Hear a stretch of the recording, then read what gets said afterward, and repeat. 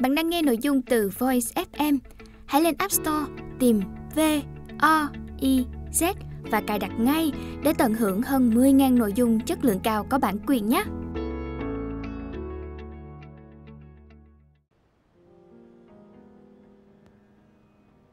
Bạn đang nghe sách nói tại Voice, thư viện sách nói First News. Mời các bạn lắng nghe quyển sách Đạp xe vì tình từ Ấn sang Âu. Tác giả Per Johan Anderson Dịch giả Đăng Thư Giọng đọc Tấn Khoa Lời tiên tri Kể từ ngày chào đời ở một ngôi làng trong rừng già nước Ấn, đường đời của tôi đã được một lời tiên tri vạch sẵn. Lúc đó là mùa đông và đã gần kề những ngày hội hè đón năm mới. Dịp lễ này vẫn là một truyền thống, mặc dù những người Anh du nhập truyền thống này vào đất nước chúng tôi đã ra đi từ hai năm trước. Tháng 12 hiếm khi mưa, nhưng năm ấy gió mùa đông bắc còn nấn ná trên vùng biển Orissa. Cuối cùng mưa cũng ngớt, nhưng những triền dốc phủ kín rừng hai bên bờ sông vẫn chìm khuất trong những đám mây mù mịt bao trùm cảnh vật trong ánh lờ mờ dẫu trời đã sáng đột nhiên nắng xé toàn bóng tối. Và tôi nằm đó, trong chiếc thúng đặt dưới một mái tranh nơi làng quê. Được số phận an bài trở thành nhân vật chính trong câu chuyện này, mặc dù tôi vẫn chưa được đặt tên. Gia đình tôi tụ tập lại, kinh ngạc nhìn tôi mới ra đời. Thầy tướng số trong làng cũng có mặt. Ông tuyên bố tôi sinh ra dưới chòm sao nam dương, cùng một ngày với đấng tiên tri của đạo thiên chúa. Nhìn kìa. Một người anh tôi kêu lên. Cái gì kia đó, trên đầu em bé đó. Mọi người ngước lên và nhìn thấy tia nắng rọi qua ô cửa sổ nhỏ đã tạo thành một ánh cầu vồng. Thầy tướng số hiểu ngay ý nghĩa điềm báo. Lớn lên, thằng nhỏ này sẽ làm việc với màu sắc. Tin đồn nhanh chóng lan khắp làng. Đứa bé cầu vồng có người nói một thánh nhân, một mahatma vừa sinh ra. Người khác bảo, khi tôi mới được một tuần tuổi, một con rắn hổ mang lạc vào túp lều nơi tôi đang ngủ say và không hề hay biết nguy hiểm cận kề. Con rắn bò lên trên nóc giường củi của tôi và phùng mang ra. Mẹ tôi nhìn thấy, bà tưởng nó đã cắn tôi rồi. Bà chạy tới đúng lúc con rắn bò ra ngoài bỏ đi. Nhưng tôi không sao. Thật vậy tôi đang nằm đó yên ổn. Đôi mắt đen nhìn vào khoảng không. Một phép màu. Người vũ rắn trong làng bảo cha mẹ tôi là con rắn hổ, đã phùng mang che cho tôi khỏi bị ướt. Vì mưa thấm giọt qua mái nhà ngay bên trên giường củi của tôi. Mưa đã nện ầm ầm trên mái suốt mấy ngày qua, nên lúc đó nhà đang dột. Rắn hổ mang vốn được xem là vật thiên và đây chính là điềm báo của thần thánh thầy tướng số gật gù đồng ý với ông vũ rắn. Đúng như thế, tôi không phải đứa bé bình thường. Thầy tướng số quay lại đoán vận mệnh cho tôi. Ông lấy một cái que vót nhọn vạch tương lai của tôi lên một tàu lá.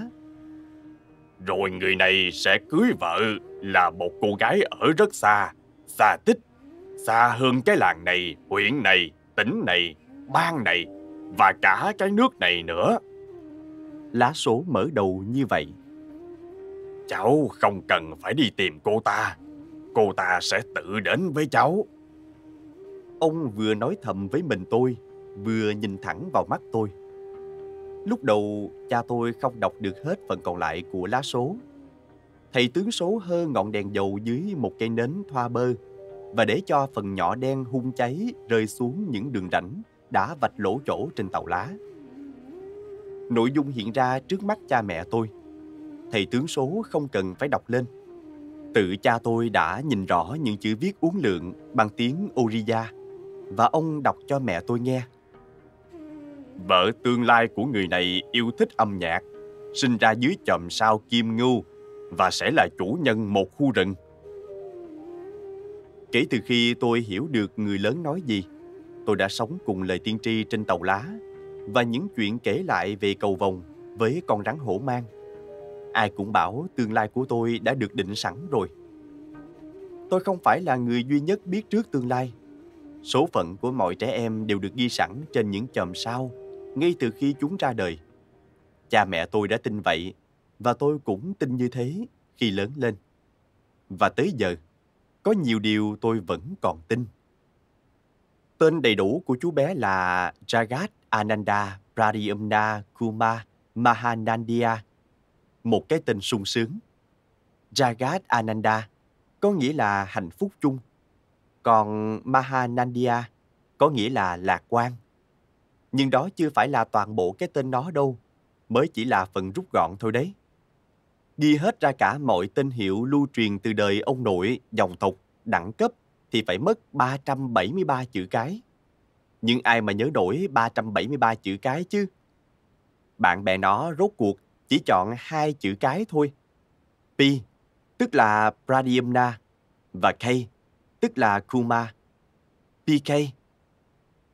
Gia đình PK chẳng hề dùng bất kỳ cái tên khai sinh nào khi họ gọi với theo thằng bé đang chạy băng qua làng hay trèo tót trên những cây xoài. Cha gọi nó là Pua, có nghĩa là thằng nhỏ. Ông bà nội thì luôn gọi nó là Nati, cháu nội. Còn mẹ lại gọi nó là Sunapua, thằng bé vàng. Vì nước da nó hơi sáng hơn hai người anh ruột một chút. Những ký ức đầu tiên của nó về ngôi làng ven sông bên bìa rừng chỉ hình thành sau khi nó lên ba, hay có lẽ là bốn, hoặc chỉ mới lên hai. Tuổi tác chẳng quan trọng, chẳng ai bận tâm đến ngày sinh. Nếu bạn hỏi tuổi dân làng này, câu trả lời của họ luôn thay đổi và chẳng bao giờ chính xác. Khoảng 10 tuổi, bốn mươi mấy, gần 70, hay còn nhỏ mà, lớn tuổi rồi, già lắm đó. Mấy tuổi cũng được, PK còn nhớ lúc đó mình đang đứng trong căn nhà có vách đất dày, mái lợp tranh vàng úa. Hình ảnh dần rõ nét. Những cánh đồng ngô với những ngọn lá bụi bặm xào xạc trong gió chiều và những lùm cây lá tròn căng bừng sáng trổ hoa trong mùa đông và nặng trĩu quả ngọt trong mùa xuân. Một con suối chảy qua làng hòa vào sông lớn. Bên kia suối là một bức tường cây lá dày đặc từ dưới đất vươn cao. Đó là chỗ bắt đầu rừng già từ đó thỉnh thoảng vọng ra tiếng voi rống hay tiếng hổ báo gầm. Ta thường thấy mặt đất bùn in hàng vết thú hoang, cùng với những đống phân voi hay dấu móng vuốt cọp. Kèm theo đó là âm thanh vo ve của côn trùng bay vòng vòng và tiếng líu lo chim hót. Chân trời của PK nằm ngay bìa rừng ấy, nhưng thế giới của nó vươn xa hơn vào tận giữa rừng. Ngôi làng và rừng già chẳng có gì khác rừng bất tận, bí mật, khó hiểu, nhưng cũng quen thuộc và an toàn. Rừng khôn lường, nhưng rừng cũng là một điều chắc chắn, một niềm an ủi. Còn đô thành là nơi nào đó nó có nghe nói, nhưng chưa bao giờ thấy tận mắt. Nó sống trong căn nhà tranh với mẹ, cha và hai anh. Và ông bà nội tất nhiên rồi. Hầu hết các gia đình đều sống như thế. Truyền thống bắt buộc con trai trưởng phải ở cùng cha mẹ ngay cả khi anh ta đã cưới vợ và có gia đình riêng. Sridhar, cha của PK, giữ đúng truyền thống ấy. PK ít thấy mặt cha. Ông là trưởng bưu cục ở Asmalik, thị xã gần nhất. Nơi có nhiều chợ, nhiều tiệm trà, một đồn cảnh sát và một nhà giam. Do quãng đường hai chục cây số quá xa, không thể đạp xe đi về hàng ngày. Cha nó có một phòng có giường ngủ ở bưu điện để ở lại suốt tuần làm việc. Mỗi tối thứ bảy, ông lại về nhà cùng một chuyến với hai anh của PK đang học nội trú ở thị trấn. PK thấy mình như con một. Suốt cả tuần, mẹ dành hết quan tâm cho nó. Gần như ngày nào cũng chỉ có hai mẹ con và ông bà nội trong căn nhà tranh ở ngôi làng ven rừng. Ánh nắng tràn ngập ngôi làng, xuyên qua những tán lá dày đặc thường bao phủ nền rừng trong bóng râm khá tăm tối. Hầu hết mọi nhà đều xây theo một kiểu, nhà tranh hình tròn hay chữ nhật, vách đất nâu, mái lá xám, cùng những chuồng tre nhốt bò với dê. Cạnh những căn nhà là mấy vạt đất trồng rau và những đụng rơm chất đống làm thức ăn cho gia súc. Rải rác trong làng có mấy ngôi nhà gạch do người Anh xây cho tầng lớp tiện dân dưới đáy xã hội như một cách ban ơn. Nhưng những trận mưa gió mùa đã phá hủy những ngôi nhà này trước khi có người kịp dọn tới ở. Và bây giờ mái đã đổ sập, nhà bỏ trống. Ngoài mấy thứ này, thế giới của PK chỉ còn một trường tiểu học và một ngôi nhà khác làm chỗ họp hội đồng làng. Mẹ PK thường nói là họ đang sống trong khu rừng lớn nhất Ấn Độ và Konpoda là ngôi làng cổ xưa nhất. Theo bà, đây là quê hương của cả người sống lẫn người chết. Những bờ cát hai bên sông được dùng làm nơi hỏa táng, nơi những linh hồn người chết đêm đêm tụ tập lại múa hát. Một chỗ xoáy nước dưới sông mấy năm gần đây đã bắt đi hai người phụ nữ. Cả hai đều mới lấy chồng và đang mang thai. Mẹ đã nhìn thấy xác họ đặt trên bãi cát bờ sông. Trán họ được tô điểm những chấm đỏ chói, biểu tượng sáng ngời của cuộc đời trong sạch, không ô uế. Mắt họ mở to, như đang tìm kiếm điều gì. Miệng há rộng, cứ như đang thét lên cầu cứu trong những phút cuối cùng. Thực ra, mẹ bảo nó, đó là do linh hồn của hai người này đã rời thể xác họ mà quên đóng cửa lại khi ra đi. Đêm đêm mẹ nằm cạnh nó trên tấm đệm rơm, thì thầm kể chuyện những linh hồn, thần nam, thần nữ và tà thuật. Bà lắc mấy đồ trang sức cho kêu lanh canh để tạo ra những hiệu ứng âm thanh ma quái. PK rùng mình nín thở, tim đập dồn. Nó nghe chuyện, vừa há hốc miệng vừa thở hổn hển, trong lúc những bóng ma trong bóng tối nhích lại gần. Nhưng rồi thân thể mẹ lại tỏa hơi ấm kề bên. Bà nhận ra mình đã làm thằng con khiếp sợ và bà kéo nó lại gần. Nó đã chuyển tiếp từ tiếng cười của buổi chiều chơi đùa trong rừng sang nỗi kinh hãi âm ti địa ngục của giờ đi ngủ, rồi tiến vào cõi an toàn của vòng tay mẹ. Trong cảm giác yên tâm đó, PK ngủ thiếp đi. Mẹ nó không sợ người chết. Bà tin rằng cách tốt nhất để đương đầu với những hồn ma là phải tỏ ra tự tin, điều mà bà tự cho là mình có sẵn. Chỉ có thiếu tự tin, người ta mới xa vào quyền năng của cái chết. Miễn là con gan dạ thì không ai làm hại được con, kể cả người chết. Bà thường nói thế. Trước khi PK đến tuổi đi học, nó chẳng hề biết đẳng cấp là gì. Chẳng ai cho nó biết là người ta được phân chia thành bốn vana hay bốn thứ bậc chính và từ đó được chia nhỏ nữa thành hàng ngàn đẳng cấp phụ.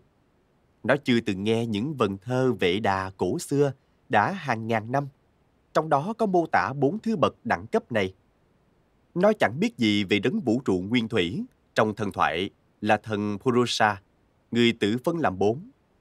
Nó không biết là các Brahmin, giới giáo sĩ, sinh ra từ miệng Purusha. Còn Kshatriya, giới chiến sĩ, sinh ra từ cánh tay. Vaishya, giới thương buôn, thợ lành nghề. Và nông dân, sinh ra từ bắp đùi. Và Sudra, giới lao công và tôi tớ, sinh ra từ bàn chân. Nó cũng đâu biết rằng những người Indo-Aryan từ các đồng bằng Trung Á đã xuôi nam 3.500 năm trước và đã dạy cho dân tộc ở các khu rừng của tiểu lục địa Ấn Độ cách trồng trọt mùa màng trước khi chính những người từ Trung Á này trở thành giới giáo sĩ, chiến sĩ và người cai trị, tự đặt họ vào vị trí đẳng cấp trên. Nó cũng không biết là dân tộc bản địa Gia Ngâm ở vùng rừng này rốt cuộc lại bị tống xuống những nhóm hạ đẳng nhất để làm nông dân, thợ giỏi và tôi tớ, giống như dòng họ bên nội của PK. Còn không thì phải sống như thợ săn giữa rừng và được gọi là dân bộ tộc, giống như bà con phía bên ngoại. Đến tuổi lớn khôn, PK đã đúc kết rằng hệ thống đẳng cấp ấy cũng chẳng khác gì mấy hệ thống giai cấp phong kiến ra đời sau của châu Âu. Không khó hiểu lắm đâu. PK thường nói thế khi những người Tây Phương nói họ không hiểu nổi cách phân chia của Ấn Độ. À, có thể phức tạp hơn một chút. Có khi PK lại thừa nhận như vậy. Và thế là PK sẽ giải thích rằng người Ấn sinh ra là đã thuộc về một Jati, tức là đồng tộc. Một nhóm có chức năng hoạt động giống như hệ thống phường nghề của châu Âu. Jati là những nhóm nhỏ trong bốn thứ bậc Vana. Tiếng Phạn có nghĩa là màu sắc. Đây là bốn đẳng cấp chính đã được nêu ra trong những pho kinh cổ Ấn Độ giáo. Do đó, chỉ có bốn Vana, nhưng có hàng triệu Jati. PK thường nói thêm. Hàng triệu Jati? Trời đất, làm sao người ta theo dõi được hết chứ? Những người Tây Phương thường hỏi thế. Và khi PK trả lời rằng không ai có thể theo dõi hết, không người Ấn nào làm được điều đó, bạn bè anh thường chịu thua và câu chuyện đổi sang đề tài khác.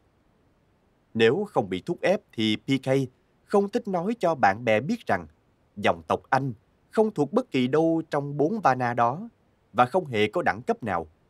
Rằng họ là những kẻ tiện dân dưới đáy xã hội hay untouchable, bất khả tiếp xúc. Trong lịch sử, cái tên gọi untouchable ra đời là do tầng lớp này làm những công việc được cho là bẩn thỉu hay ô uế. Đó chính là điều khiến anh không cảm thấy tự hào. Thế nhưng, nếu PK không phải là một tiện dân dưới đáy xã hội, thì cuộc đời anh lẽ ra đã thực sự đổi khác. Người cha già dân tộc Mahatma Gandhi muốn nâng cao thân phận của tầng lớp này nên đã gọi họ là Harijan hay con của Thượng Đế. Nghe hay quá, PK nghĩ thầm. Nhưng thực tế từ này lại mô tả một người không có cha đúng nghĩa. Gandhi muốn đặt cho họ một cái tên dễ nghe. PK cho là vậy. Một cái tên để cải thiện hoàn cảnh của họ trong cuộc sống. Nhưng không hiểu sao tên gọi này vẫn có vẻ chướng tai. Một sự bác bỏ tính chất máu thịt chính đáng và là một cách gọi mà khi lớn lên, PK đã khinh thường. Sau khi người Anh ra đi, chính quyền Ấn Độ chính thức xếp loại tầng lớp tiện dân dưới đáy vào loại schedule cast các đẳng cấp có trong danh mục cho họ được mua vé tàu lửa giá rẻ hơn và cho họ các mức chỉ tiêu để dễ vào đại học và dễ được bầu vào cơ quan công quyền hơn. Những hành động độ lượng có hảo ý này được cho là nhằm cải thiện thân phận thấp hèn của họ trong cuộc sống. Các bộ luật chống phân biệt đã được soạn thảo để chống bất công, nhưng luật cũng vô dụng nếu như không được thi hành. Những định kiến lâu đời đã hằn sâu trong tâm trí dân chúng như những tầng đá rắn dưới mặt đất. Từ đó PK hiểu ra, muốn thay đổi phải bắt đầu từ bên trong, từ tâm hồn. Ở một đất nước khác cách xa hàng ngàn dặm, Lota từ khi lên 12 đã ao ước viếng thăm Ấn Độ. Đến tận bây giờ, cô bé vẫn còn nhớ hương vị Đông Phương đầu tiên được nếm trải khi cả lớp được cho xem một bộ phim về sông Hằng. Cô bé chăm chú theo dõi mặt trời mọc trên dòng sông trong tiếng rù rì của máy chiếu phim. Cô bé còn nhớ như in tiếng đàn sita lạnh lót phát ra từ những thùng loa, tiếng chuông ngân rền của những ngôi đền và tiếng nước văng tung tóe khi những người hành hương theo các bậc cấp bước xuống sông, cho tới khi nước ngập đến bụng. Bộ phim trắng đen ấy là những hình ảnh đầu tiên giới thiệu Ấn Độ với Lotta. Bộ phim gây tác động sâu xa đến cô bé hơn bất kỳ thứ gì khác đã học ở trường. Cả lớp phải làm bài luận về đề tài này. Bài Lotta viết rất dài và đầy cảm xúc. Có ngày mình sẽ đến đó. Lotta nhủ thầm. Cô bé muốn trở thành nhà khảo cổ. Cô bé thích đào bới trong đất, tìm kiếm các thứ. Cô bé mơ tưởng đến những khám phá chấn động lý giải những câu chuyện đầy uẩn khúc của lịch sử. Ở lớp học, Lotta muốn vẽ một bức tranh lớn về các kim tự tháp, đọc sách về nhà Ai Cập học Howard Carter của Anh Quốc và chuyện ông phát hiện ra lăng mộ Tutankhamun. Lời nguyền của vị pha ra ông này khiến Lotta say mê, lòng đầy nao nức khi cô bé đọc về những cái chết bí ẩn của 20 người trong đội khai quật của Carter. Lotta muốn dành cả cuộc đời để làm sáng tỏ những bí mật như thế. Trong tuổi niên thiếu của cô bé, niềm say mê không gian bắt đầu lấn lướt. Lotta đến thư viện mượn sách về đĩa bay và đi tới Gothenburg nghe diễn thuyết về sự sống trên các hành tinh khác. Cô bé đặt mua dài hạn một tạp chí chuyên ngành và háo hức đọc từng số báo. Lòng tin chắc rằng con người không thể nào lẻ loi trong vũ trụ này. Lotta lại quan tâm hơn hết đến những đời sống khác biệt với đời sống xung quanh mình. Cô bé từng tưởng tượng mình sinh ra trong thế kỷ 16 và sống cùng gia đình trong một túp lều giữa rừng. Không hề có những thứ xa hoa hiện đại hay máy móc tân kỳ. Chỉ có những thứ thiết yếu nhất, đơn giản, gần gũi với thiên nhiên. Người duy nhất thật sự hiểu được chú bé PK chính là mẹ. Bà tên là Kalabati. Trên mặt bà có những hình xăm màu xanh đậm. Trên mũi là hình trái tim vàng và hai tay là hình hai mặt trăng. Tất cả những gì còn lại của Kalabati chỉ là một đế cắm nến thờ bằng đồng hình con voi. Đó là đồ cắm nến ưa thích nhất của bà. PK luôn nghĩ đến mẹ. Mỗi lần anh nhìn đế nến ấy, đặt trên bệ lò sưởi trong căn nhà màu vàng giữa rừng. Chính Kalabati là người vẽ những hình thánh truyền thống trên tường các ngôi nhà trong làng trước mọi lễ hội lớn. Bà có con mắt nghệ thuật và vẽ rất khéo. Người ở đẳng cấp nào cũng cần đến tài nghệ của bà, kể cả giới Brahmin đẳng cấp cao. Cứ đến gần những dịp lễ, bà lại dậy sớm, phết phân bò lên vách đất trong nhà và bắt đầu trang trí. Khi đã làm xong nhà mình, bà chuyển sang các nhà hàng xóm. Ngày trước khi bắt đầu lễ hội, bà làm việc từ mờ sáng đến sẩm tối, vẽ những hình người tay chân mảnh khảnh cùng với những nhánh dây leo và hoa lá mong manh. Bà tự tay dùng bột gạo hòa nước để pha màu trắng. Khi bà vẽ xong, những căn nhà trong làng sáng lấp lánh trong ánh nắng vàng hừng đông. Đó là những kiệt tác của Kalabati. PK nhìn mẹ vẽ và thắc mắc tại sao bà không bao giờ vẽ trên giấy. Kalabati sinh ra trong bộ tộc Khutiakond. Dân bộ tộc bình thường như chúng ta là hậu duệ của những người da ngâm sống ở miền rừng trên đất này từ thời xa xưa lắm, hoặc là những người đã đến đây ít nhất là mấy ngàn năm trước khi những người miền đồng bằng chuyển đến sống và bắt đầu đốn cây trồng lúa gạo. Bà nói với PK, Đi cùng những người này là chiến tranh và dịch bệnh. Chính những người đồng bằng đã phân chia chúng ta thành hạng có giá trị và hạng không giá trị. Trước khi người Hindu tới, chúng ta không phân biệt các loại dân chúng. Ở miền rừng này, chẳng có ai đứng trên ai cả. Mẹ là người duy nhất PK cảm thấy là có thực. Những người khác trong nhà cứ như người lạ vậy. Cứ đến cuối tuần, khi cha và hai anh đạp xe về làng là PK lại thấy bồn chồn kỳ lạ. Họ chỉ ở nhà những ngày Chủ nhật. Mỗi tối thứ bảy, người cha dựng xe đạp vào tường và đưa tay bế PK lên. Nhưng lần nào PK cũng sợ và òa khóc. Đừng khóc con. Này, cha mang về cho con nhiều kẹo mà. Kalabati thường nói. Những lúc đó PK sẽ nín khóc, khịt mũi, rồi nhón một viên kẹo giòn Perfy bọc đường, kẹo sữa Gulab Jamun mềm ướt hay kẹo bơ dẻo của anh Quốc trên tay cha trước khi trèo lên ngồi trên đùi mẹ. Chú thích Buffy hay Buffy. Buff nghĩa là tuyết trong tiếng Ba Tư. Tên kẹo có nghĩa là trắng như băng tuyết. Kẹo được làm từ nhiều loại nguyên liệu, nhưng thường được phủ một lớp bạc lóng lánh.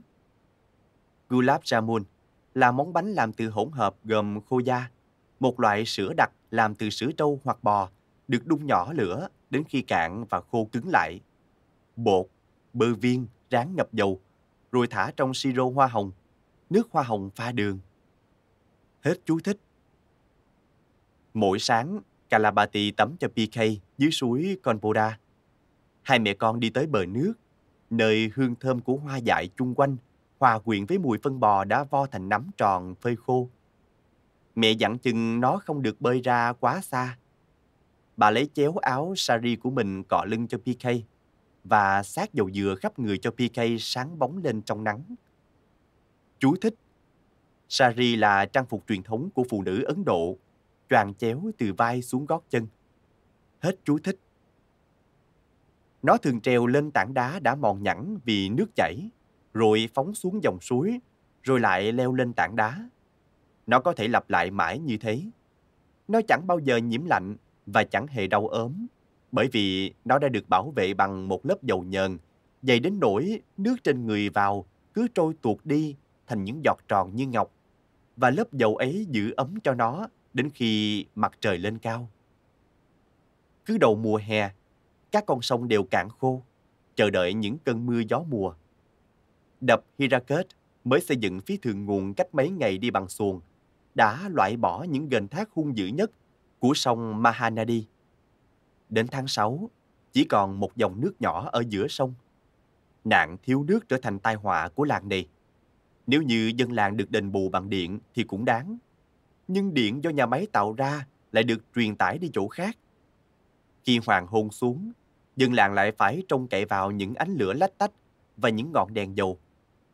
Kalabati cùng những phụ nữ khác trong làng bắt tay đào những giếng tạm trong những bãi cát lớn, những lỗ sâu cả mấy thước.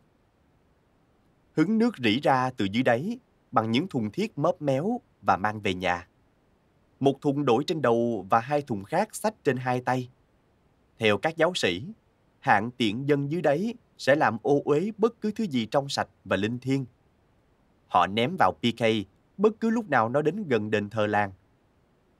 Năm trước khi bắt đầu đến trường, PK quyết định trả thù. Khi lễ tế bắt đầu và các thầy tu xuất hiện mang theo những vò đất chứa đầy nước, nó lấy ná thùng ra, mò tìm mấy viên đá chung quanh, móc vào dây ná và bắn. Choang, choang, choang. Nước tràn ra những chỗ nứt trên vò đất. Các thầy tu nhìn thấy PK và đuổi bắt nó khắp làng. Ta sẽ giết mi! Họ hét lên. PK nấp trong một bãi xương rồng, gai nhọn đâm vào thịt nó. PK khập khiển đi về nhà với mẹ, máu dây đầy người. Cả đám cây cỏ mà cũng muốn làm mình đau đớn, nó nghĩ. Mẹ xoa lưng PK và thì thầm êm ái rằng mọi chuyện đều tốt đẹp. Dù bà biết rõ đối với tầng lớp bất khả tiếp xúc và dân bộ tộc như họ, thì thế giới này chỉ toàn thù nghịch và bất công. Nó không hiểu tại sao giới giáo sĩ Brahmin lại ghét nó đến thế. Cũng không hiểu lý do vì sao họ không cho nó tới gần đền thờ. Nó không có lời giải thích nào cho những viên đá họ ném vào nó. PK chỉ biết một điều, đau đớn. Mẹ không muốn cho nó biết sự thật mà chỉ dùng lời lẽ vẽ ra cho nó một viễn cảnh tuyệt vời. Khi những đứa trẻ thuộc đẳng cấp cao sơ ý chạm vào PK, chúng bỏ chạy xuống sông tắm rửa ngay. Sao chúng lại làm thế? Nó hỏi. Vì chúng dơ bẩn. Mẹ nó đáp. Nên chúng mới cần tắm rửa. Gớm, hồi hám bẩn thỉu quá. Bà lặp đi lặp lại cho tới lúc PK không còn xem hành động của chúng là phản ánh giá trị tự thân của mình. Kalabati chưa bao giờ đi học, cho nên không biết đọc biết viết. Nhưng bà hiểu biết nhiều điều về thế giới, như cách làm màu sơn, cách vẽ những hoa văn phức tạp và pha trộn các loại lá, hạt và rễ cây thành những thứ thuốc của thiên nhiên để chữa bệnh. Cuộc đời bà được định hình theo thói quen. Nhiều việc ngày nào bà cũng thực hiện vào cùng một thời điểm. Bà thức dậy trước bình minh. Chuông báo thức là tiếng gà gáy và đồng hồ là hướng nắng chiếu trên trời. PK nằm trên nệm rơm, nghe tiếng bà kỳ cọ sàn nhà, hàng hiên và khoảnh sân bằng nước pha phân bò. Nó lấy làm lạ tại sao bà lại dùng phân bò để lau chùi, cho tới khi bà giải thích rằng thứ ấy còn hữu hiệu hơn nhiều so với loại bột hóa chất màu trắng mua ở tiệm tạp hóa trong làng. Sau khi lau chùi nhà cửa, Calabati đi bón phân cho cánh đồng ngô của gia đình, rồi xuống sông tắm. Bà quay về nhà trong chiếc áo sari xanh đậm, đứng trên hàng hiên mới quét dọn sạch. Mái tóc xoăn ướt của bà long lanh trong nắng mai, lúc bà thông thả dùng khăn vải vắt tóc cho sạch nước. Bà khe khẽ hát trong lúc tưới nước cho những chiếc lá xanh tím thơm hương của bụi hương nhu. Rồi bà vào bếp, nhúng ngón tay trỏ vào một vò đất đựng bột son đỏ và nhấn một điểm ngay giữa trán. Bà ngắm mình trong tấm gương nứt treo trên cái móc cạnh bếp lò. Chồm người tới, bà vẽ những đường viền đen quanh mắt bằng thứ bột phấn tự làm. Một hỗn hợp muội than và bơ sữa trâu. Đó là lúc tới phiên PK thức dậy. Nó cuốn tấm nệm rơm lại và mẹ chấm cho nó một điểm đen giữa trán để trừ tà ma. Tiếp theo đó là một bệt bơ sữa trâu, thứ mau chóng tan chảy dưới nắng và nhỏ giọt trên mặt nó. Loại bơ này là cách Kalabati nói cho cả làng biết rằng nhà họ trông vậy chứ không nghèo khó. Không phải ai cũng có khả năng ăn bơ sữa, Bà bảo PK. Nhưng nhà mình thì có. Nhìn kìa, nhà Mahanandia để bơi chảy ròng ròng trên mặt mấy đứa con. Ít ra Kalabati cũng hy vọng là dân làng nghĩ vậy. Thân thể đã sạch sẽ, tóc đã chải gọn, son và bơ đã phết lên trán. PK đã sẵn sàng cho một ngày mới. Tổ tiên của mẹ nó, những người bộ tộc đã săn bắn trong rừng và trồng trọt trên những trảng đất bằng suốt bao ngàn năm. Ngày nay, hầu hết bà con của Kalabati làm nghề đúc gạch bên bờ sông. Họ lấy bùn dưới đáy sông, nện thành viên gạch rồi nung. Tuy vậy, bác của PK vẫn theo lối xưa và kiếm sống bằng chiếc ná săn bắn trong rừng. Bác đã cho PK một chiếc lông ngỗng và nó buộc chiếc lông vào một sợi dây cột chặt trên đầu trong lúc chơi bò trường trong rừng, giả vờ như mình cũng đi săn. Kalabati đã thầm mong có một đứa con gái, cho nên bà cho PK để tóc dài và tết thành biếm cho nó. PK rất tự hào với mấy biếm tóc này và thích buộc thêm viên đá vào đầu biếm tóc. Xem tóc tao chắc chưa này? Nó thường la toán lên với mấy đứa trẻ khác, vừa lắc đầu cho những viên đá trên biếm tóc đông đưa. Mấy thằng kia tóc ngắn thấy vậy để lắm. Chúng chưa hề thấy cái gì giống vậy. PK thường trần truồng chơi giỡn. Trên người chỉ có hai dải băng đeo cổ tay và một thắt lưng có đính những vỏ sò màu trắng. Mọi trẻ con bộ tộc Kutiakond đều ở truồng chạy rong như thế. Những người Hindu có đẳng cấp đều cho rằng dân bộ tộc thật kỳ lạ. Còn cái người Hindu đều mặc kính áo quần. Kalabati thờ kính mặt trời và bầu trời, khỉ và bò, chim cung, rắn hổ mang và voi. Bà thờ kính mùi thơm nồng của bụi hương nhu, cũng như cây bồ đề và cây sầu đâu. Thứ cây có nhựa kháng khuẩn được dùng để chà răng cho sạch. Với bà, thánh thần không có tên, nhưng hiện hữu trong muôn loài chung quanh. Mỗi tuần nhiều lần, bà tới một khu rừng nhỏ cây mọc san sát tới mức ken kính thành bức tường trắng bốn bề. Trong đền thờ bí mật do thiên nhiên tạo dựng này, bà gom đá và cỏ tươi, bày ra một ít bơ, rồi rắc bột son đỏ lên trên. Ở đó, bà cầu nguyện cho mọi sinh vật trong rừng, đặc biệt là các loài cây, thứ linh thiêng nhất cùng với mặt trời. Giống như các bộ tộc khác ở miền rừng phía đông Ấn Độ, bộ tộc Khutiakond không hề tự phân chia thành các đẳng cấp mà cũng không có sự phân biệt gì giữa người thống lĩnh và thường dân. Ai ai cũng có quyền thờ kính thần thánh và giao hòa với đấng thiên liêng. Nhưng rồi có chuyện xảy ra. Kalabati kể cho PK nghe chuyện những người từ vùng đồng bằng Đông Bắc xuất hiện như thế nào. Họ bắt đầu canh tác các thung lũng và bờ sông ra sao. Họ xem dân vùng rừng là loại mang di mọi rợ. Rốt cuộc, chúng ta bị ép buộc theo hệ thống đẳng cấp của họ. Mẹ nó buồn bã nói. Dân miền rừng thỉnh thoảng cũng toan giấy loạn. Người Anh phải đưa quân tới vãn hồi trật tự. Nhưng đó là một trận chiến không cân sức mà những người đồng tộc của PK luôn luôn thất bại. Đến tuổi 20, PK đọc sách báo biết rằng những quân du kích Maoist, gọi là những người Nasalite, có lần đã đứng lên đấu tranh cho quyền lợi của dân bộ tộc. Chú thích Nasalite hay Naso, là một thành viên của đảng Cộng sản Ấn Độ, Maoist. Tên gọi này bắt nguồn từ tên ngôi làng Nasobari ở Tây Bengal, nơi khởi nguồn của phong trào. Hết chú thích. Dần già, cuộc xung đột này leo thang và quân đội Ấn Độ tới trấn áp. Máu đổ, thù hận không tan và báo chí gọi cuộc xung đột này là nội chiến. PK không thích diễn biến bạo lực này anh nhận ra là nhiều bà con bên ngoại đã mất hết hy vọng khi các công ty mỏ bắt đầu khai thác những ngọn núi thần, cây thánh, bụi thiên của họ để lấy khoáng sản. Ban đầu anh nghĩ giải pháp duy nhất là phải chống trả. Nhưng rồi lòng oán hận của PK nguôi dần. Không có ai vô giá trị tới mức đáng chết, ngay cả một kẻ áp bức hay tên sát nhân.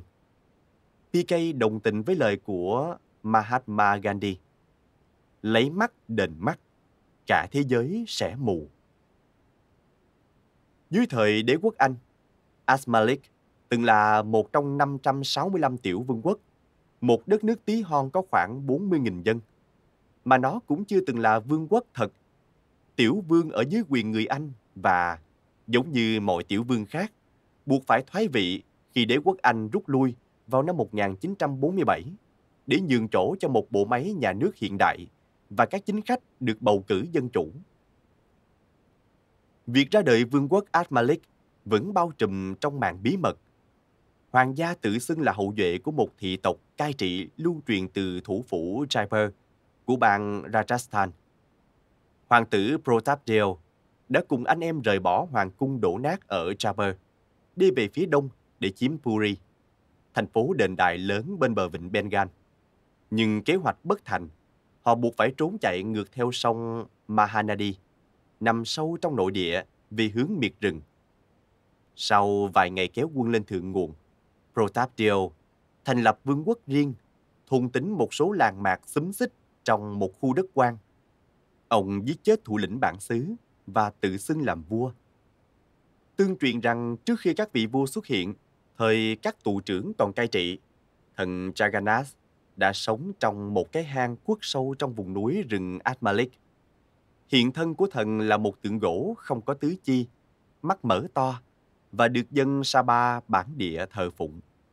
Nhưng một ngày kia, các giáo sĩ Hindu đi thuyền dọc theo sông đã đến đây và bắt cóc Jagannath, đặt vào đền thờ chính ở Puri và thần từ đó vẫn mãi ở đấy.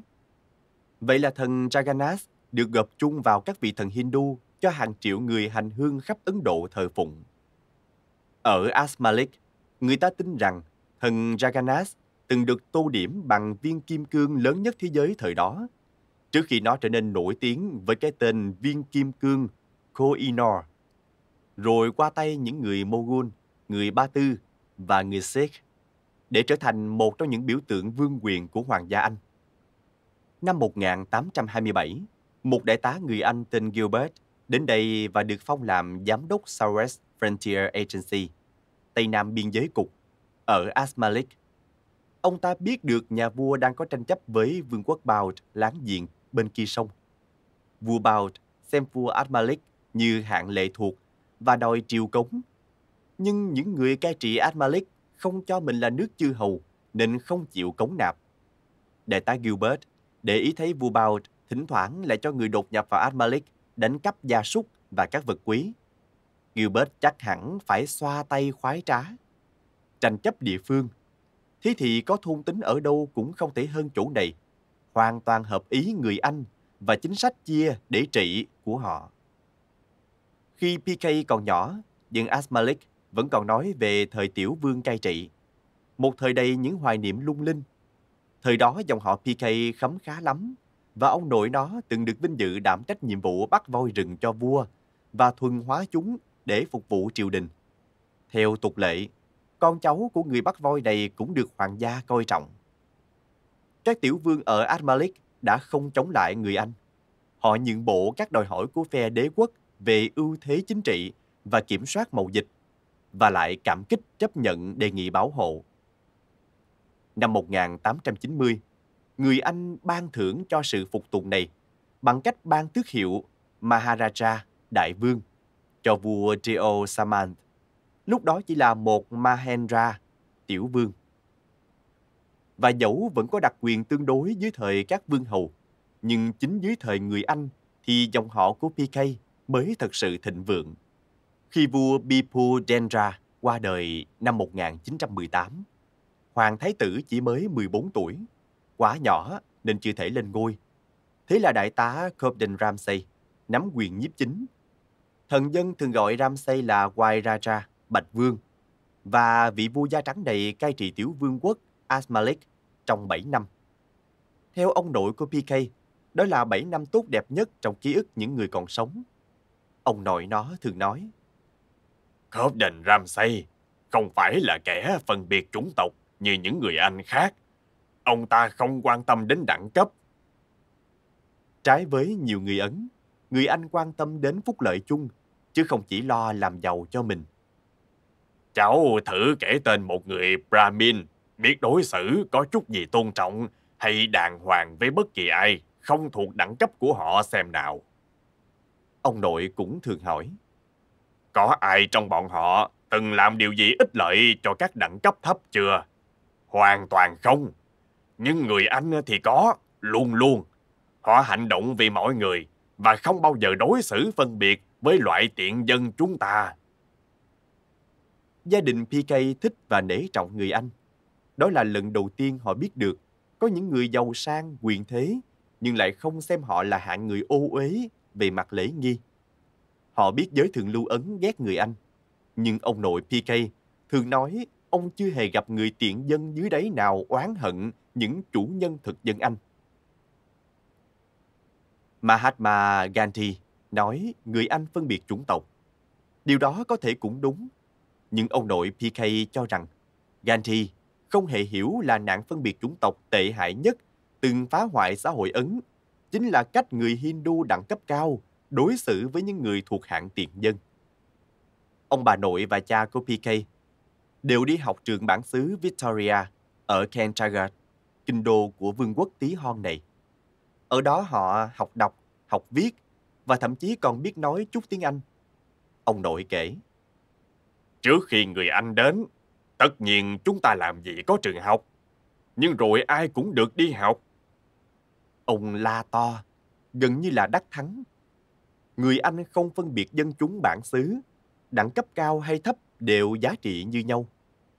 Đâu có quan trọng việc chúng ta thuộc đẳng cấp nào. Ồ, thật sung sướng khi được đi học. Lần đầu tiên, chúng ta mới thấy người ngoài, người lạ mà lại muốn điều tốt cho chúng ta.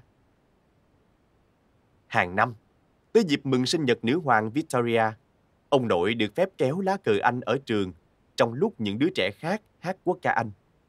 Nhiều năm sau, những người bạn châu Âu của PK cũng thấy khó hiểu nổi tại sao người thân của anh lại vui mừng thực hiện nghi lễ ấy, trong khi đất nước của anh đang bị đô hộ, chiếm đóng và lệ thuộc thế lực ngoại bang. Nhưng Asmalik xưa nay hầu như luôn do vua chúa từ bên ngoài đến cai trị. PK giải thích. Hàng trăm năm trước, vua Ashoka đã bị khuất phục trước hoàng đế Kharavela. Người này sau đó lại được tiếp nối bởi vua xứ Bengal, rồi tới đế quốc Maratha. PK nói, Người Anh chỉ là một mắt xích trong chuỗi dài những người xứ khác đến cai trị. Nhưng miễn là các vị vua ngoại bang không can thiệp vào đời sống của thường dân, thì dân địa phương chẳng bận tâm mấy về chuyện ai cai trị. Thế nhưng sự cai trị của người Anh đã làm thay đổi các chức năng quyền lực ở các thôn làng lần đầu tiên. Người Anh không hiểu được hệ thống đẳng cấp, ít nhất là theo cách những người Brahmin muốn họ hiểu. Người Anh thuê hạng tiện dân dưới đáy làm việc ở các cơ quan bưu chính dân sự và hỏa xa. Và bất cứ ai muốn đều có thể đi học ở trường bản xứ Victoria. Không, người Anh chẳng có gì phải xấu hổ cả. Đó là ý kiến của ông nội. Các vị vua ở Asmalik vốn không phải tiền muôn bạc vạn. Khác với các đại vương ở bang Rajasthan miền Tây Ấn Độ, toàn sống trong các cung điện vĩ đại và nuôi hàng trăm con voi treo các chiến tích săn bắn đầy tường và chất kim cương đầy ngăn tủ. Và chắc chắn là không giống vị đại vương có 27 chiếc xe Rolls Royce hay vị đại vương đã gả con gái cho một hoàng tử trong một đám cưới mà sách kỷ lục Guinness đã mô tả là đám cưới hoang phí nhất thế giới. Hay như vị đại vương đã tổ chức lễ cưới cho hai con chó của ông, cho 250 vị cẩu khách mặc đồ kim tuyến gắn đá quý đón chào tân cẩu lan cưỡi trên kiệu do một đoàn voi gắn hoa đầy mình rước đi. Những trò phung phí vô lối như vậy không có ở cái vương quốc bé tí mà PK đã lớn lên. Lúc PK sinh ra thì hầu hết các cung điện của đại vương và các tòa nhà công quyền đã hoang tàn đổ nát. Dây leo đã bắt đầu quấn những thân nhánh chằng chịt quanh những mái nhà sụp đổ và những bức tường ngày càng rêu mốc vì mưa gió. Con trai của đại vương cuối cùng trị vì Asmalik đã bỏ cung điện này khi Ấn Độ được độc lập. Nhưng do là chủ nhân của một doanh nghiệp phát đạt, người này lại chuyển tới một dinh cơ nguy nga hơn. Gia đình PK luôn được đón tiếp ở đó để trò chuyện, uống trà, hay ngắm những bức ảnh màu nâu đen, lộng khung, chụp hình những người Anh đội mũ cối và các vương công Ấn Độ đầu quấn khăn bành. Thực tế là ngày nay, PK cũng được đón tiếp y như hồi nhỏ. Dù mang thân phận hạ đẳng, ông bà nội và cha của PK vẫn là tín đồ Ấn Độ giáo. Ở nhà, cha nó thờ cúng theo đạo của người Hindu, nhưng không phải tiện dân nào cũng như cha nó.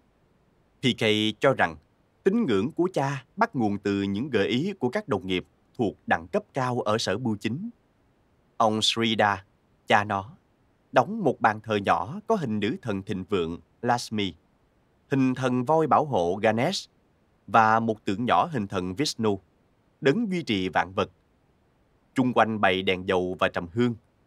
Hàng ngày, trong hương khói thơm tỏa ra từ ngọn lửa, cha nó cầu nguyện các vị thần cho bản thân và gia đình được sống hạnh phúc. Chừng nào không có người Brahmin nào gần bên, thì các tiện dân vẫn có thể đi tới đền thần Shiva. Nhưng không tiện dân nào dám bước vào các gian trong cùng, nơi các tượng thần ngự trị. Hành động sức sượt đó sẽ khiến những người Brahmin nổi trận lôi đình. Phong tục địa phương cho là ai làm hại hay giết chết rắn sẽ mang điềm gỡ tới, cho nên đền thờ làng trở thành nơi cư ngụ của rắn. Các thầy tu hàng ngày cho rắn ăn vì họ tin đó là ý muốn của thần Shiva. PK thích chuyện dân làng chăm sóc cho lũ rắn. Nó từng nhìn ngó vào đền thờ này và phát hiện ra tượng một con rắn hổ mang bằng kim khí lấp lánh trong bóng âm u. Cổ vương dài như thể nó đang bảo vệ các thánh thần, giống như con rắn hổ mang thật từng bảo vệ nó lúc còn sơ sinh. Rắn là bạn của người.